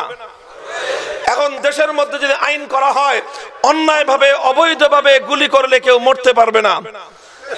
তাহলে এই আইনটা কি আসলে যুক্তিসম্মত হবে না এই আইনটা পাগলের প্রলাপ হবে? আইন করতে হবে অন্যায় ভাবে যদি কেউ কাউকে গুলি করে মেরে ফেলে, তাহলে এই গুলি কর্তার তার বিরুদ্ধে মৃত্যুদণ্ডের আইন হবে। কথা ঠিক না বেঠিক যে তুমি কেন অন্যায় ভাবে গুলি করলা? তুমি কেন অন্যায়ভাবে গুলি করলা? এই জন্য তোমাকে এই অন্যায়ভাবে গুলি করবার সাজা ভোগ করতে হবে। যদি আইনটা এমন ভাবে করা হয় যে নাকি অন্যায়ভাবে আরেকজনকে গুলি করে হত্যা করবে, তার বিরুদ্ধে মৃত্যুদণ্ড, তার উপরে মৃত্যুদণ্ডের আইন পাশ হবে, এটা হলো যুক্তিসম্মত আইন। কিন্তু আইন যদি এভাবে করা হয়, অবৈধভাবে কেউ কাউকে গুলি করলে যে ব্যক্তির গায়ে গুলি বিদ্ধ হলো, তার জন্য মরা নিষেধ। কি বলেন, এই আইন, এটা কি সুস্থ মস্তিষ্ক প্রসূত, না এটা পাগলামি? আজ কি বলব এই সমস্ত মানুষদের কথা? এদেরকে পাগলও বলা যায় না মূর্খ বলা যায় না। কারণ মাথাও ঠিক আছে, আবার ডিগ্রি এই পরিমাণ। এদেরকে মূর্খ বললে শিক্ষার মান সম্মান থাকবে কোথায়? কিন্তু আইনটা করল এরকমই যে যদি চেয়ারম্যানের অনুমতি সারা তালাক দেয়, তাহলে তালাক পতিত হবে না। আল্লাহর কোরআন বলতেছে, তালাক পড়ে ওই নারী হারাম হয়ে গেছে। তুমি আইন মারাইতেছো যে চেয়ারম্যানের অনুমতি ছাড়া তালাক দিলে তালাক কার্যকর হবে না। তাহলে তোমার আইনটা ওরকমই হলো যে চেয়ারম্যানের অনুমতি ছাড়া গুলি করলে মানুষ মরতে পারবে না। চেয়ারম্যানের অনুমতি ছাড়া গুলি করলে সেই মানুষটা কি মরবে কি মরবে না? পুলিশ অফিসারের অনুমতি ছাড়া, পারমিশন ছাড়া যদি পুলিশের কোনো সেপাই যদি আরেকজনকে গুলি করে বসে, তাহলে কি এই গুলি খেয়ে মানুষ মরবে না?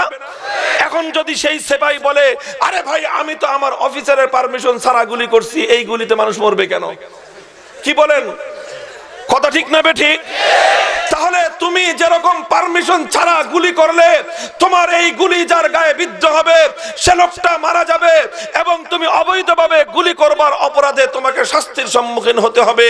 ঠিক তেমনি ভাবে মানুষের মুখের কথা এটা একটা গুলির মতো। মানুষের মুখের কথা এটা একটা তীরের মতো। এই তীর যখন বের হয়ে যায়, বৈধভাবে বের হলো না, অবৈধভাবে বের হলো সেটা পরের বিষয়। কিন্তু এই তীর গিয়ে যার গায়ে বিদ্ধ হবে, সে অবশ্যই আক্রান্ত হবে। এই তালাক যখন তুমি মুখ দিয়ে উচ্চারণ করলা, তুমি কি যথাভাবে করলা কিনা, নিয়ম মোতাবেক করলা কিনা, সেটা তো পরের কথা। তালাক শব্দ তোমার মুখ থেকে বের হওয়ার সঙ্গে সঙ্গে তোমার স্ত্রী তোমার থেকে বিচ্ছেদ হয়ে হারাম হয়ে গেছে। বিভিন্ন মিডিয়াতে অ্যাডভার্টাইজমেন্ট করা হয় যে একজন পুরুষ ক্ষেত খামলে ক্ষেত খামারে কাজ করে, খুব উত্তেজিত অবস্থায় বাড়িতে আসছে।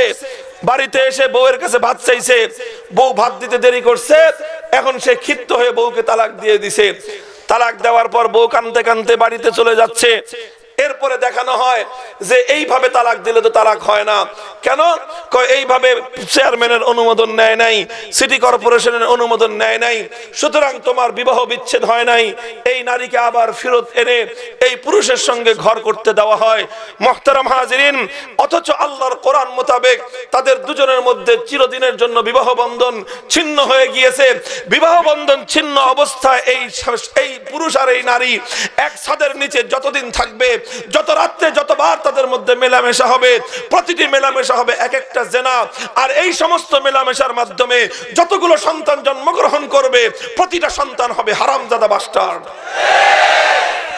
এইভাবে আজ মুসলিম সমাজের মধ্যে মুসলিম নামধারী হাজার হাজার ঘর এমন রয়েছে যে সমস্ত ঘরগুলোর মধ্যে স্বামী স্ত্রী রূপে যারা দাম্পত্য সম্পর্ক করতেছে, তারা হারাম জেনা করতেছে, কারণ তাদেরকে ওই আইনের দোহাই দিয়ে তালাক হয়ে যাওয়ার পরেও তালাক প্রাপ্ত স্ত্রীকে নিয়ে এক ঘরে বসবাস করবার মতো অবৈধ ব্যবস্থাপনা সমাজের মধ্যে চালিয়ে দেওয়া হয়েছে।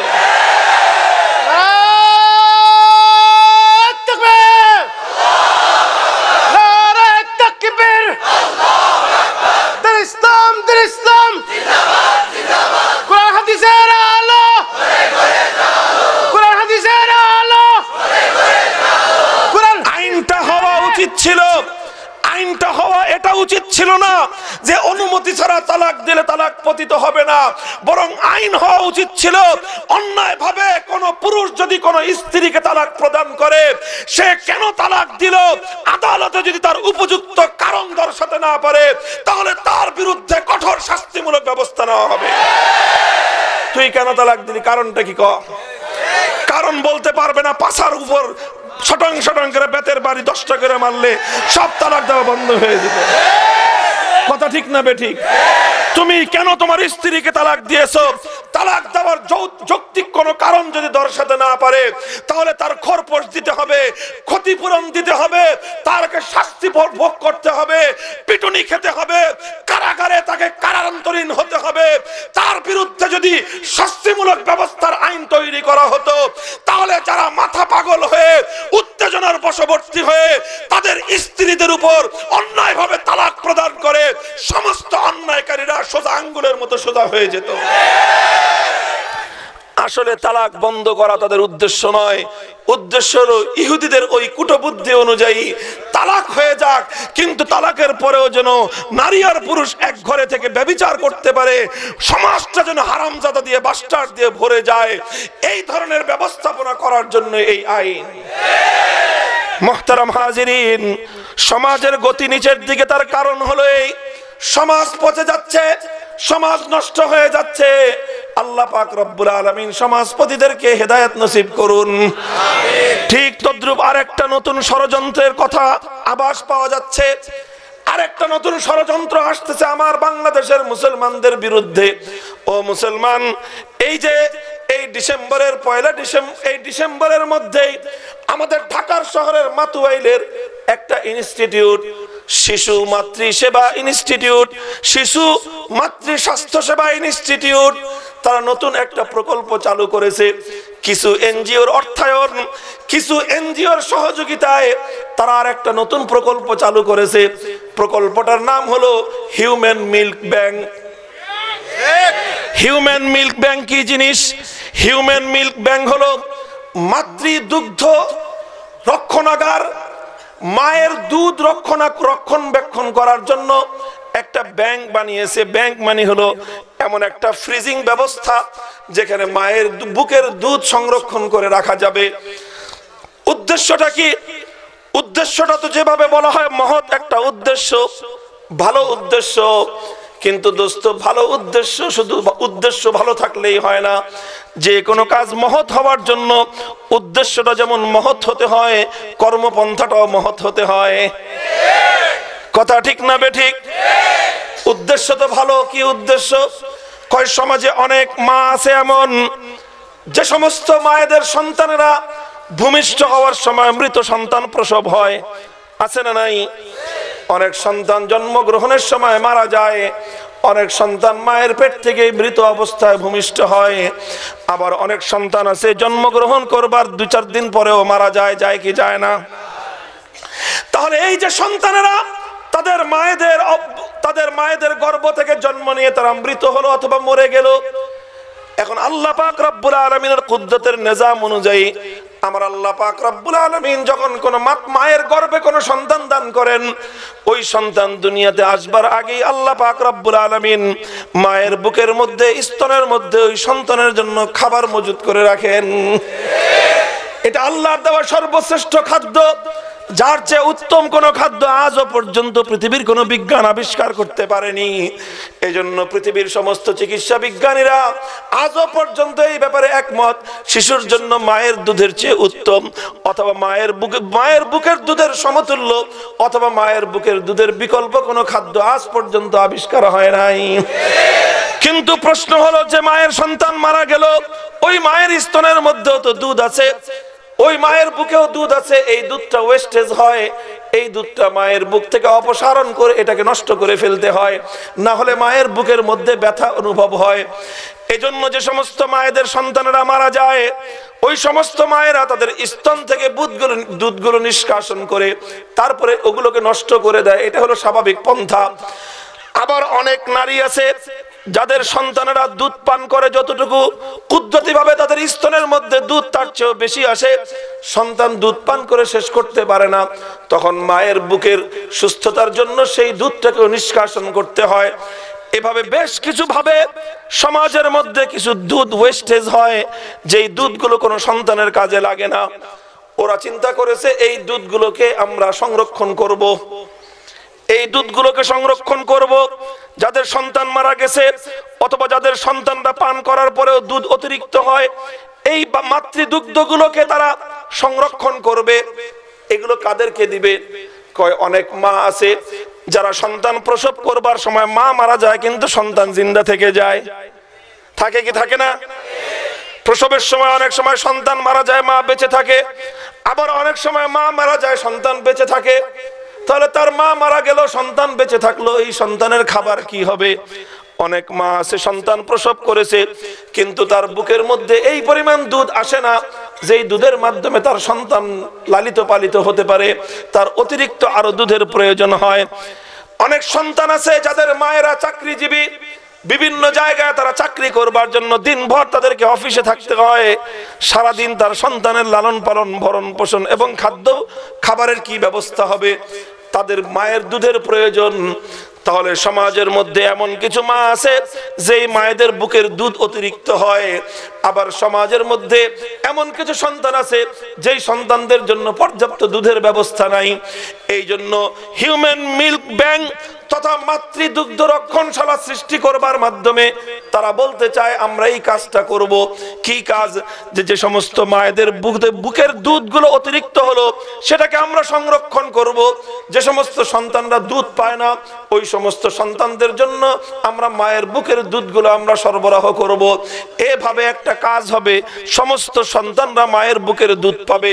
আর কোনো মায়ের বুকের মূল্যবান দুধ এটা সমাজের মধ্যে নষ্ট হবে না।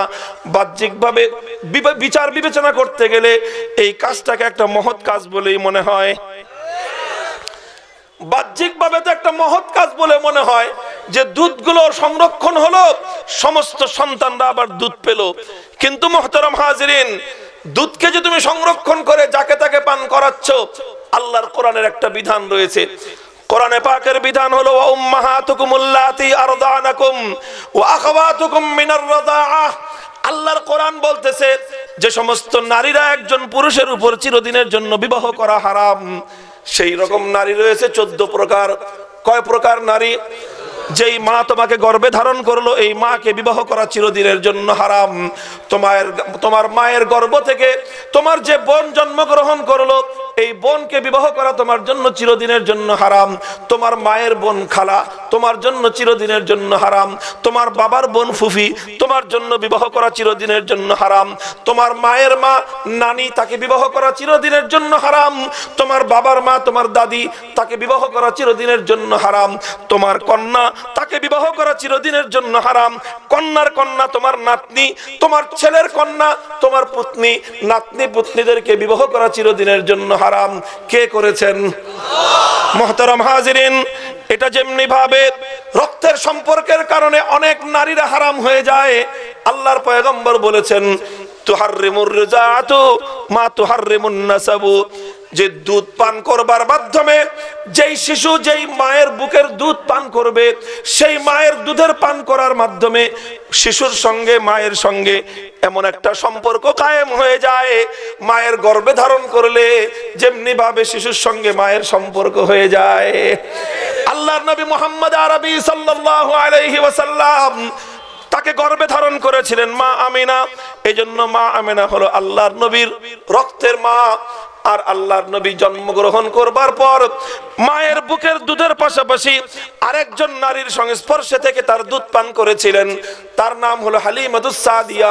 ওনাকে বলা হয় আমাদের নবীর দুধ মাতা কথা ঠিক না বে ঠিক মোহতারাম হাজিরিন এমনি ভাবে অনেক মানুষ রয়েছে শিশুকালে, নিজের মায়ের স্তন্য ছাড়া অন্য কোনো নারীর স্তন থেকে দুধ পান করে। সঙ্গে সঙ্গে যেই নারীর স্তন থেকে দুধ পান করবে, কোন শিশু শরীয়তের মধ্যে অবশ্যই একটা বাইন্ডিংস আছে। বাইন্ডিংসটা হলো শিশুর দুই বছর বয়স মেয়াদের মধ্যে দুধ পান করতে হবে। কয় বছর কয় বছর? কয় বছর? দুই বছরের মধ্যে যদি কোনো শিশু, কোনো কোনো নারীর দুধ পান করে, সঙ্গে সঙ্গে সেই নারী তার মা হয়ে যাবে, ওই নারীর মা তার নানি হয়ে যাবে, ওই নারীর স্বামী তার বাবা হয়ে যাবে, ওই নারীর মেয়েরা তার বোন হয়ে যাবে, ওই নারীর নাতনিরা তার ভাগ্নি হয়ে যাবে। সুতরাং রক্তের সম্পর্কের মাধ্যমে যতগুলো নারী তার জন্য বিবাহ করা চিরদিনের জন্য হারাম ছিল, দুধের সম্পর্কের মাধ্যমেও ওই ততগুলো নারী তার জন্য চিরদিনের জন্য বিবাহ করা হারাম। মোহতারাম হাজিরেন, আল্লাহর নবীর যুগে এমন একটা ঘটনা ঘটেছিল। বুখারী শরীফ সহ সমস্ত হাদিসের কিতাবগুলোর মধ্যে হাদিস বর্ণিত হয়। একজন সাহাবী একজন মেয়েকে বিবাহ করেছেন। বিবাহ করবার কিছুদিন পর একজন মহিলা আসলো। মহিলার গায়ের বর্ণ কালো। এজন্য ওই মহিলাটাকে হাদিসের মধ্যে বলা হয়েছে, ইমরাতুন সৌদা কালো একটা মেয়ে এসে, কালো একজন মহিলা এসে দাবি করতে লাগল, হে সাহাবি, আমি তোমাকেও দুধ পান করিয়েছিলাম, আর তুমি যেই মেয়েকে বিবাহ করেছ, ও ছোটকালে আমার বুকের দুধ পান করেছিল। সুতরাং তোমরা কেমনি বিবাহ করলা? এখন ওই লোকটা সাহাবি তিনি তো বিবাহ করেছেন, শখ করে, পাত্রী দেখে পছন্দ করে। বিবাহ করবার পরে এই সংবাদ নিয়ে আসছে আরেক মহিলা, যে আমি তোমাদের দুজনকে ছোটকালে দুধ পান করিয়েছিলাম। সুতরাং তোমরা তো দুধ ভাই বোন হয়ে গেছো, তোমরা বিবাহ বন্ধনে আবদ্ধ হলা কীভাবে? আশেপাশের খবর নেওয়া হলো, এই মহিলা যে দুধ পান করিয়েছিল, কেউ জানেন? আমরা তো কেউ জানি না। কোন সাক্ষী নাই। কিন্তু মহিলা দাবি করতেছে যে আমি তোমাদের দনজনকে দুধ পান করিয়েছি, আমার স্পষ্ট খেয়াল আছে। সাহাবি সঙ্গে সঙ্গে আল্লাহর নবীর কাছে চলে গেলেন। নবীর কাছে গিয়ে বললেন, ওগো আল্লাহর নবী আমাকে এবং আমার স্ত্রী যাকে আমি বিবাহ করেছি, একজন কালো বর্ণের মহিলা এসে দাবি করতেছে, আমাদের দুজনকে নাকি সে দুধ পান করিয়েছে, অথচ তার এই দাবির সপক্ষে কোনো যুক্তি নাই, তার কোনো প্রমাণ নাই, তার কোনো দলিল নাই। এখন আমি তার কথা গ্রহণ করব, না আমি আমার স্ত্রী নিয়ে সংসার করব? আমি তো আমার এই বিবাহিত স্ত্রী নিয়েই সংসার করতে চাই। আল্লাহর নবী অত্যন্ত রাগান্বিত ভাবে মুখটাকে মলিন করে নবীজি, তাকে বললেন, কাইফা ওয়াকাত কিল কাইফা ওয়াকাত কিল, কাইফা ওয়াকাত কিল, প্রমাণ থাকুক বা না থাকুক, যেখানে একজন নারী দাবি করতেছে যে তোমাদের উভয়কে সে দুধ পান করিয়েছে, সুতরাং তোমরা দুধ ভাই বোন হয়ে কীভাবে তোমরা দাম্পত্য সম্পর্ক করবে, কীভাবে তোমরা দাম্পত্য সম্পর্ক করবে? নবীজি এই হাদিসের মাধ্যমে, এই বক্তব্যের মাধ্যমে এমন ভাবে সাহাবীকে শাসিয়ে দিলেন, সঙ্গে সঙ্গে সাহাবী সেই স্ত্রীর থেকে বিচ্ছেদ করে নিলেন এবং তার থেকে বিচ্ছিন্ন হয়ে গেলেন, যতই পছন্দের হোক না কেন যতই রূপসী হোক না কেন, নিজের বোন যদি রূপসী হয়, নিজের বোন যত সুন্দরী হোক না কেন, কশ্চিন কালেও কোনো ভাই তার বোনকে বিবাহ করবার কথা কল্পনাও করতে পারে না। কি বলেন? মোহতারাম হাজিরিন, যদি আপনারা কোন সমাজের মানুষ সম্পর্কে যদি শুনেন যে অমুক ব্যক্তি তার বোনকে বিবাহ করেছে, অমুক ব্যক্তি তার বোনকে বিবাহ করতে চায়, আপনারাই বলুন, ওই লোকটা আপনাদের কাছে কতটা ঘৃণিত হবে?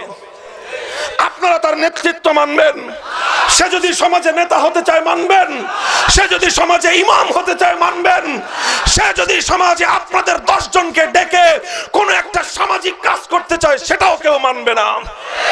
সবাই বলবে, তোর চেয়ে জঘন্য কোনো মানুষ দুনিয়াতে নাই। তুই আপন মায়ের পেটের বোনকে বিবাহ করতে চাস অথবা বিবাহ করেছিস। হারাম কাজ এভাবে যদি কেউ করে, দুনিয়ার কোন মুসলমান গায়ে এক ফোঁটা রক্তবিন্দু থাকা অবস্থায় এই অন্যায়কে বরদাস্ত করতে পারে না। অথচ আজকে হিউম্যান মিল্ক ব্যাংক মাতৃদুগ্ধ রক্ষণশালার মাধ্যমে মুসলিম সমাজের মধ্যে বিষয়টাকে ব্যাপকতার রূপ দান করার চেষ্টা করা হচ্ছে। কারণ এখানে হাজার হাজার নারীদের দুধ জমা হবে। যেমন ধরেন আজকে বাংলাদেশে ব্লাড ব্যাংক আছে না নাই? ব্লাড ব্যাংক আছে। আমরা যখন আমাদের কোনো রুগীর রক্তের প্রয়োজন হয়, আমরা গ্রুপ অনুযায়ী যে কোনো ব্লাড ব্যাংকে গিয়ে সেখান থেকে রক্ত সংগ্রহ করি। কার রক্ত জানা নাই? কে রক্ত দিয়েছে জানা নাই? ব্লাড ব্যাংক থেকে গ্রুপে মিলেছে। A positive A negative O positive O negative A B positive আমার গ্রুপের রক্ত হলেই চলল। ঢাকায় না পাওয়া গেলে বারডেমে যাই। বারডেমে না পাওয়া গেলে মিটফোর্ডে যাই। বিভিন্ন ব্লাড ব্যাংক থেকে আমরা রক্ত নিয়ে রোগীর গায়ে পুশ করি। জানিও না অনেক সময় যে কার রক্ত আমি গ্রহণ করলাম। সমস্যা নাই, কারণ রক্তের মধ্যে আরেকজনের রক্ত জানার দরকার নাই। রক্তটা বিশুদ্ধ হলে ডাক্তার পরীক্ষা নিরীক্ষা করে তোমার গায়ে পুশ করে দিবে। এতে তুমি সুস্থ হয়ে উঠবা। কিন্তু এই রক্তের মতো করে যদি দুধ ব্যাংক তৈরি হতে থাকে, তাহলে একজন, দুজন, তিনজন, হাজার হাজার নারীদের বুকের দুধ সেখানে জমা হবে। হাজার হাজার নারীদের বুকের দুধ জমা হবে। সমাজে আমরা কিন্তু এটাও জানি, অনেক মানুষ এমন আছে যারা বিভিন্ন প্রয়োজনে রক্ত বিক্রি করে থাকে। তখন এমন ব্যাংক যখন তৈরি হবে, অনেক নারী এমন হবে যারা বিভিন্ন প্রয়োজনে নিজেদের বুকের দুধ বিক্রি করবে। প্রয়োজনীয়তাও দেখা দিবে। এই যে যে সমস্ত নারীরা কর্মজীবী নারী, আট ঘণ্টা, দশ ঘণ্টা প্রাইভেট ব্যাংকে চাকরি করলে তো আটটার আগে ছুটি নাই। যদিও অফিস শেষ হয়ে যায় পাঁচটায়, কিন্তু প্রাইভেট ব্যাংকের চাকরিজীবীদের সম্পর্কে আমরা জানি, বিভিন্ন উচ্চ পদস্থ কর্মকর্তা যারা থাকে, আটটা, নয়টা, দশটার আগে তাদের হোম তাদের অফিসিয়াল ওয়ার্ক করা ছাড়া তারা ছুটি পায় না। তাহলে যেই নারী সন্তান প্রসব করবার পর কর্মস্থলে যাবে। সকাল আটটা থেকে রাত আটটা পর্যন্ত বারো ঘন্টায় তার সন্তানকে সে কাছে পাবে না, দুধ দান করতে পারবে না। অথচ এই সময়টা তার স্তনে এই পরিমাণ দুধ আসবে যে সেটাকে তার জন্য সংবরণ করা মুশকিল হবে। তখন বিভিন্ন উপায়ে সে ওই দুধটাকে নিষ্কাশন করে সে চিন্তা করবে, যেহেতু কিছু অতিরিক্ত উপার্জনের সময় সুযোগ আছে, আমি এই দুধটা দুধ ব্যাংকে বিক্রি করে এখান থেকে কিছু পয়সা কামাই। হবে মানুষের মধ্যে। কথা হলো হাজার হাজার নারীদের বুকের দুধ একত্রিত হবে সেই মিল্ক ব্যাংকের মধ্যে, দুধের রক্ষণশালার মধ্যে। এরপরে সেই হাজার হাজার নারীদের দুধ পান করবে কারা? এরকম হাজার হাজার ছেলে মেয়ে থাকবে, শিশুরা থাকবে। ওই সমস্ত শিশুদের অভিভাবকেরা নিজেদের মা না থাকবার কারণে, শিশুর মা না থাকবার কারণে, অথবা শিশুর মা থাকার পরেও পর্যাপ্ত পরিমাণ দুধ না পাওয়ার কারণে মিল্ক বিটার দুধ না কিনে, ডাঙর দুধ না কিনে অন্য কৌটার দুধ না কিনে চিন্তা করবে, মায়ের দুধ যেহেতু শ্রেষ্ঠ, সুতরাং এজন্য মায়ের বুকের দুধ কিনবার জন্য ব্লাড ব্যাংক থেকে দুধ সংগ্রহ করে তার সন্তানকে পান করাবে। এখন বলেন, দশ জন, পনেরো জন, বিশ জন নারীর বুকের দুধ একত্রিত হলো। সেই দুধটা যখন আরেকটা বাচ্চা পান করল, নার দশটা নারীর সঙ্গে তার মাতৃত্বের সম্পর্ক হয়ে গেল।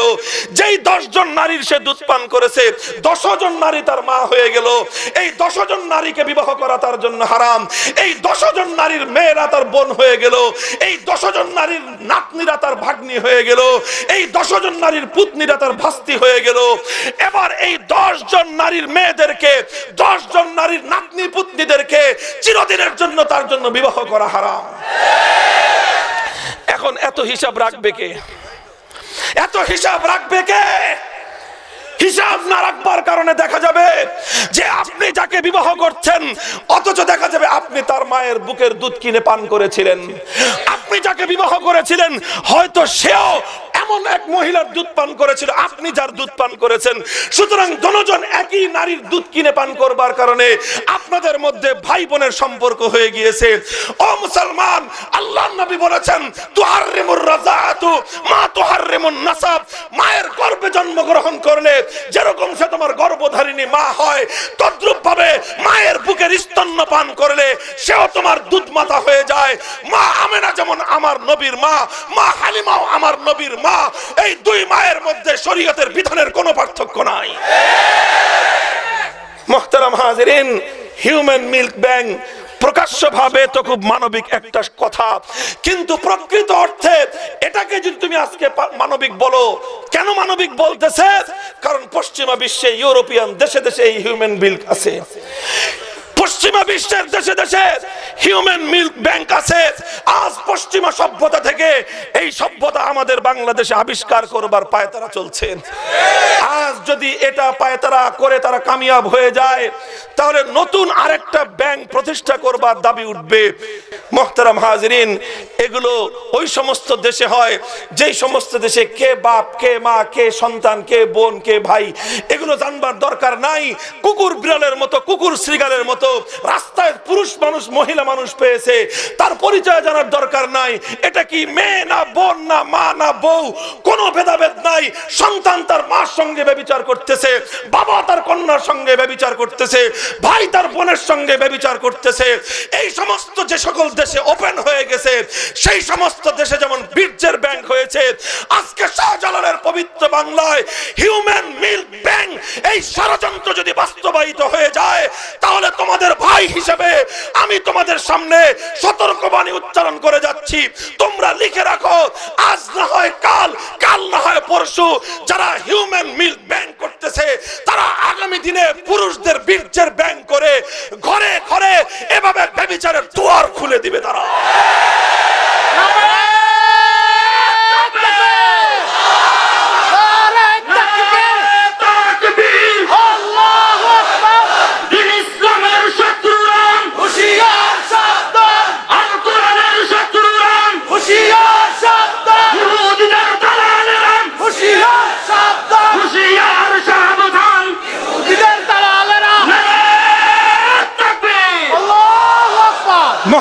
হাজিরিন, আমি ভিন্ন একটা বিষয় আলোচনা করতে চেয়েছিলাম, কিন্তু মনে হয়েছে কথাগুলি আজকে সমাজের সামনে উচ্চারিত হওয়া অনেক জরুরি। আজ গোটা বাংলাদেশের মুসলমান, আরে মুসলমান, এটা তোমার ইমানের প্রশ্ন, এটা তোমাদের ইসলাম জাতিসত্তার প্রশ্ন, এটা মুসলিম উম্মার অস্তিত্বের প্রশ্ন। আজ মুসলমানদের মধ্যে এভাবে ভাইয়ে, বোনে, বিবাহকে ব্যাপকতার রূপদান করবার জন্য মা এবং তার সন্তানের সঙ্গে বৈবাহিক বন্ধনকে ব্যাপক দেওয়ার জন্য স্বামী এবং নাম পুরুষ এবং তার কন্যার মধ্যে এভাবে সম্পর্ক তৈরি করবার এক অসৎ উদ্দেশ্য নিয়ে, এক অপবিত্র এবং নাপাক মাকসাদ দিয়ে মুসলিম জাতির উত্থানকে ঠেকিয়ে দেওয়ার জন্য মুসলমানদের ঘরগুলোকে ব্যবিচার এবং জেনার আড্ডাখানা বানানোর পায়ে তারা চলছে।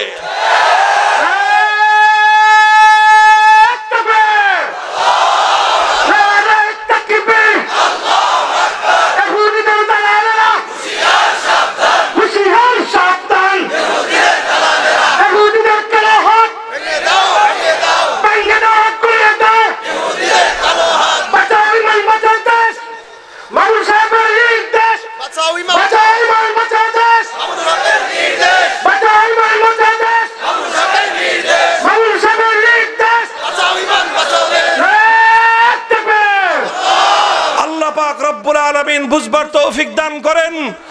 মুসলমান, আমি তোমাদেরকে আখেরি যে পয়গামটা দিয়ে যেতে চাই, ইনশাআল্লাহ, সুম্মা ইনশাআল্লাহ, আল্লাহর নবীরা চলে গেছেন।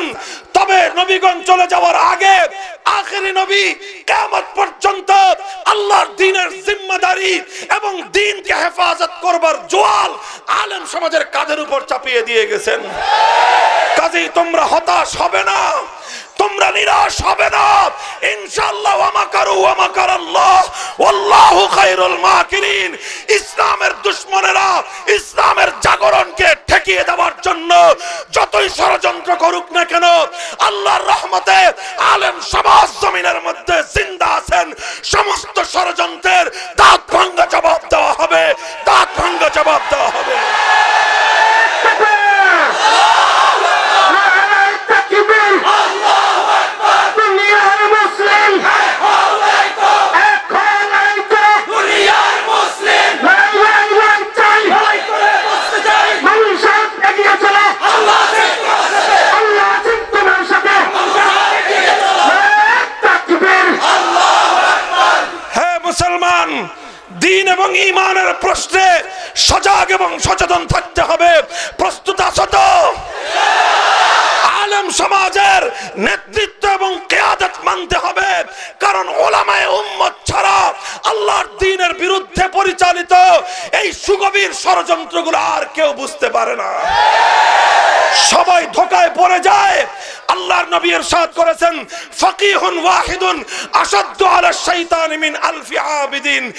এক হাজার জাহেল আবেদকে শয়তানের ধোকা দিতে এক মুহূর্তের ব্যাপার, কিন্তু একজন সত্যিকার আলেমকে হাজার বছরও শয়তান ধোকা দিতে পারে না। কাজে আজ যারা দেশ নিয়ে চিনিমিনি খেলতে চাও যারা ইসলাম এবং মুসলমানদের উত্থানকে ঠেকিয়ে দিতে চাও। ওরা মনে করতেছে সাত শত বছর পর্যন্ত যে ভারত মুসলমানরা শাসন করেছিল দুই শত বছর পর্যন্ত যে মুসলিম জাতি লড়াই করে ইংরেজদেরকে বিতাড়িত করে গোটা ভারত উপমহাদেশকে মুক্ত স্বাধীন করেছিল।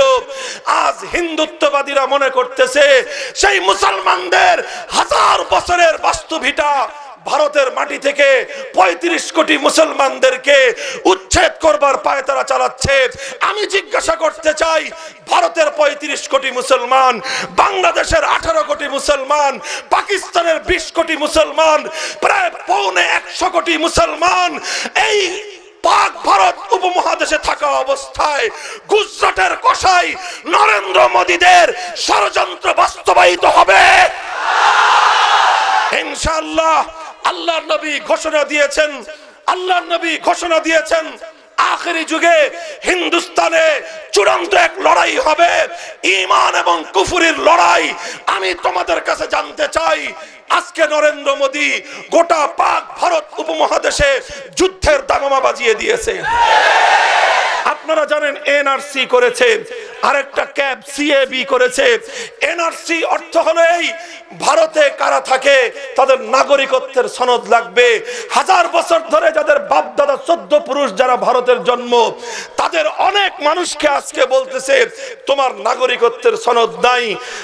এভাবে হাজার হাজার মুসলমানদেরকে ভারত থেকে উৎখাত করবার জন্য এনআরসি নামক একটা কুখ্যাত বিল তারা তাদের জাতীয় সংসদে পাশ করেছে। আরেকটা করেছে ক্যাব, অর্থাৎ বাংলাদেশ এবং পাকিস্তান আর আফগানিস্তান, এই তিনটা দেশকে বিশেষভাবে চিহ্নিত করে বলা হয়েছে। এই তিন দেশ থেকে যে সমস্ত হিন্দু, বৌদ্ধ, খ্রিস্টানরা সাম্প্রদায়িক আক্রমণের শিকার হয়ে ভারতে চলে যাবে, তাদেরকে সহজে নাগরিকত্ব দিবে। কিন্তু এই তিন দেশ থেকে মুসলমানরা যদি ভারতে যায়, তাহলে তাদেরকে খুব সহজে নাগরিকত্ব দেওয়া হবে না। তাহলে প্রশ্ন হলো, এমনিতেই তো আমরা জানি বাংলাদেশ থেকে কোনো মুসলমান তো দূরের কথা, কোনো হিন্দু এখন আর ভারত যাওয়ার জন্য রাজি না। কারণ বাংলাদেশে গ্রামগঞ্জেও এখন মুসলমান এবং হিন্দু সকলেই, আলহামদুলিল্লাহ, তারা টাইলসের ফিটিং বাথরুমে টয়লেট করে। আর ভারতের অধিকাংশ মানুষ এখনও পর্যন্ত টাইলসের ফিটিং বাথরুম তো দূরের কথা, কাঁচা পায়খানা বানানোর পর্যন্ত এখনও ওদের সভ্যতা হয় নাই। অধিকাংশ ভারতের মানুষ রাস্তার মধ্যেখানে রেল লাইনের পাশে নারী আর পুরুষ একসঙ্গে লাইন ধরে সকালবেলা হাঁটতে বসে। তা আমাদের বাংলাদেশ থেকে মানুষ কোন কারণে তোদের দেশে যাবে? এদেশের মানুষের মাথা পিছু আয় তোদের দেশের থেকে বেশি। আমরা বাংলাদেশে খেয়ে পরে ভালো আছি তোদের চেয়ে বেশি। আমরা থাকি তোদের চেয়ে ভালো, খাই তোদের চেয়ে ভালো, চলি তোদের চেয়ে ভালো। তোদের দেশে আমরা যাব কোন দুঃখে? কিন্তু ওরা যেই কাজটা করেছে, এই কাজের মাধ্যমে শুধু পাকিস্তান আর আফগানিস্তানকে নয়, বরং আজকে বাংলাদেশকে একটি সাম্প্রদায়িক রাষ্ট্র হিসেবে চিহ্নিত করবার পায় তারা করেছে।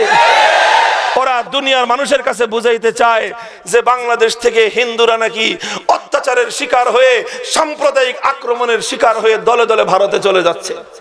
এটা ওরা বুঝাতে চায়। আপনারা সাক্ষী, আপনারা বলেন তো, আপনাদের গোটায় সিংগাইরে হাজার হাজার হিন্দু আছে। কোন হিন্দু কোনদিন এখানকার মুসলমানদের দ্বারা নির্যাতনের শিকার হয়?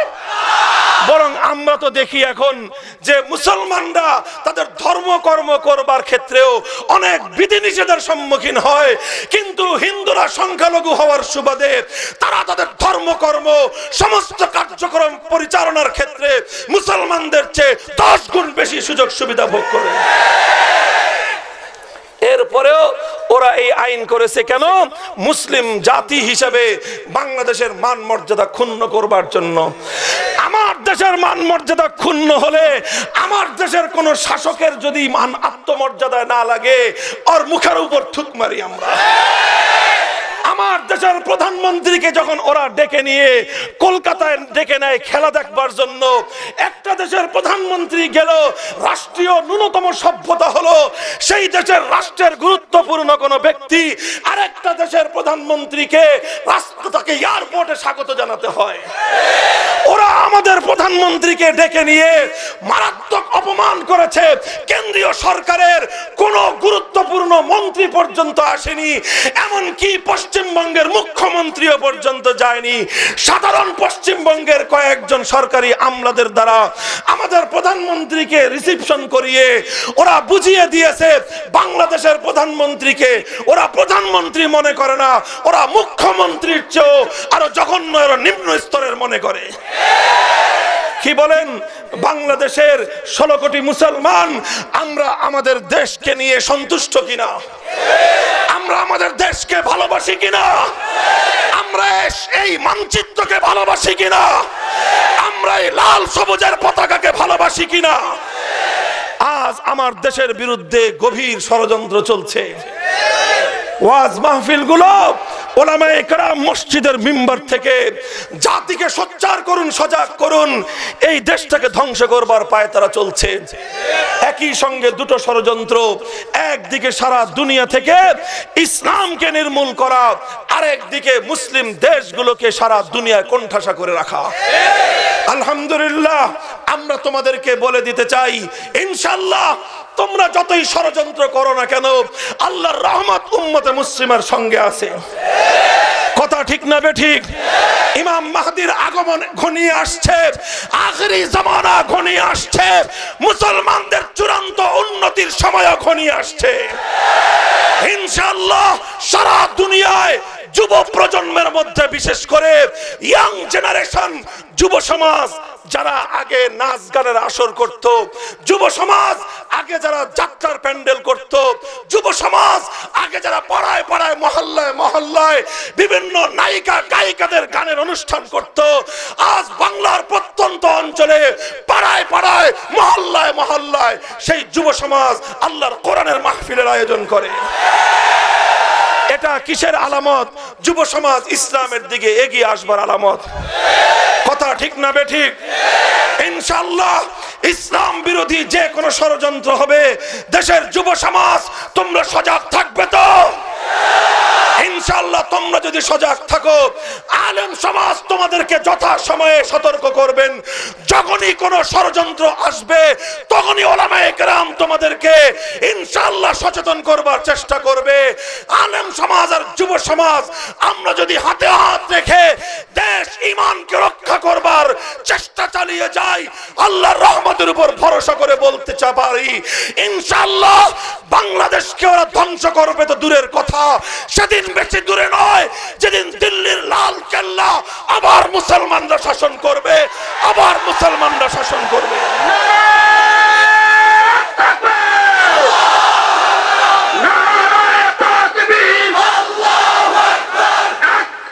অ্যাকশন ডাইরেক্ট অ্যাকশন মুসলমানের অ্যাকশন ডাইরেক্ট অ্যাকশন ওলামায়ে কেরামের অ্যাকশন ডাইরেক্ট অ্যাকশন আমরা তাকবীর আমরা জাতি ধর্ম বর্ণ নির্বিশেষে সকলের নিরাপত্তা দেই। কথা ঠিক না বে ঠিক আমরা সংখ্যালঘুদেরকে আমাদের চেয়ে বেশি অধিকার দেই। কাজেই বাংলাদেশের সাম্প্রদায়িকতা খুঁজবার দরকার নাই, ভারত আর বার্মায় সাম্প্রদায়িকতা খুঁজো। কেন ভারতের আহমদাবাদে হাজার হাজার মুসলমানদেরকে হত্যা করা হয়েছিল? কেন বার্মা থেকে লক্ষ রোহিঙ্গাদেরকে আরাকান থেকে উৎখাত করা হলো। এগুলোর নাম সাম্প্রদায়িকতা। বাংলাদেশে যেটা আছে সেটার নাম সম্প্রীতি।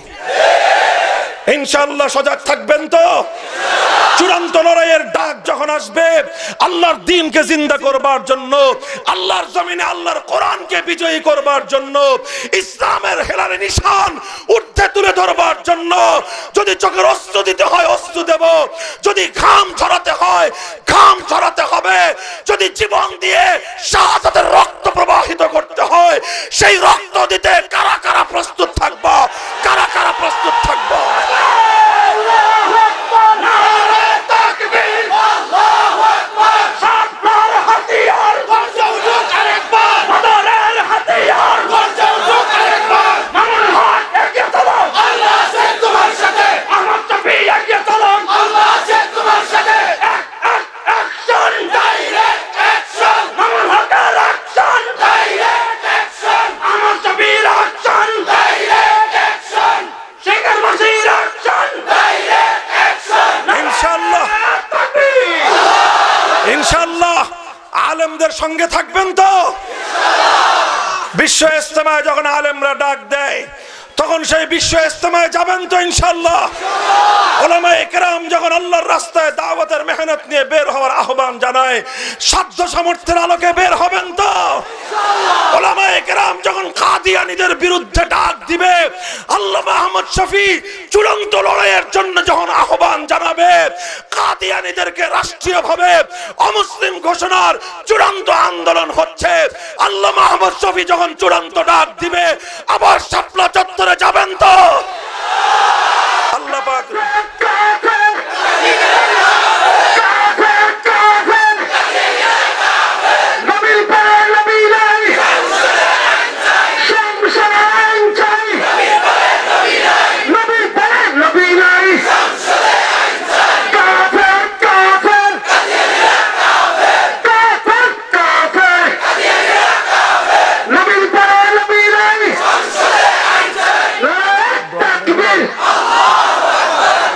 পাক রব্বুল আলমিন আপনাদের জজবা কবুল করেন এবং এই প্রত্যয়কে আল্লাহ পাক রব্বুল আলমিন ইনশাল্লাহ আল্লাহ পাক আপনাদের এই প্রত্যয়কে কবুল করবেন।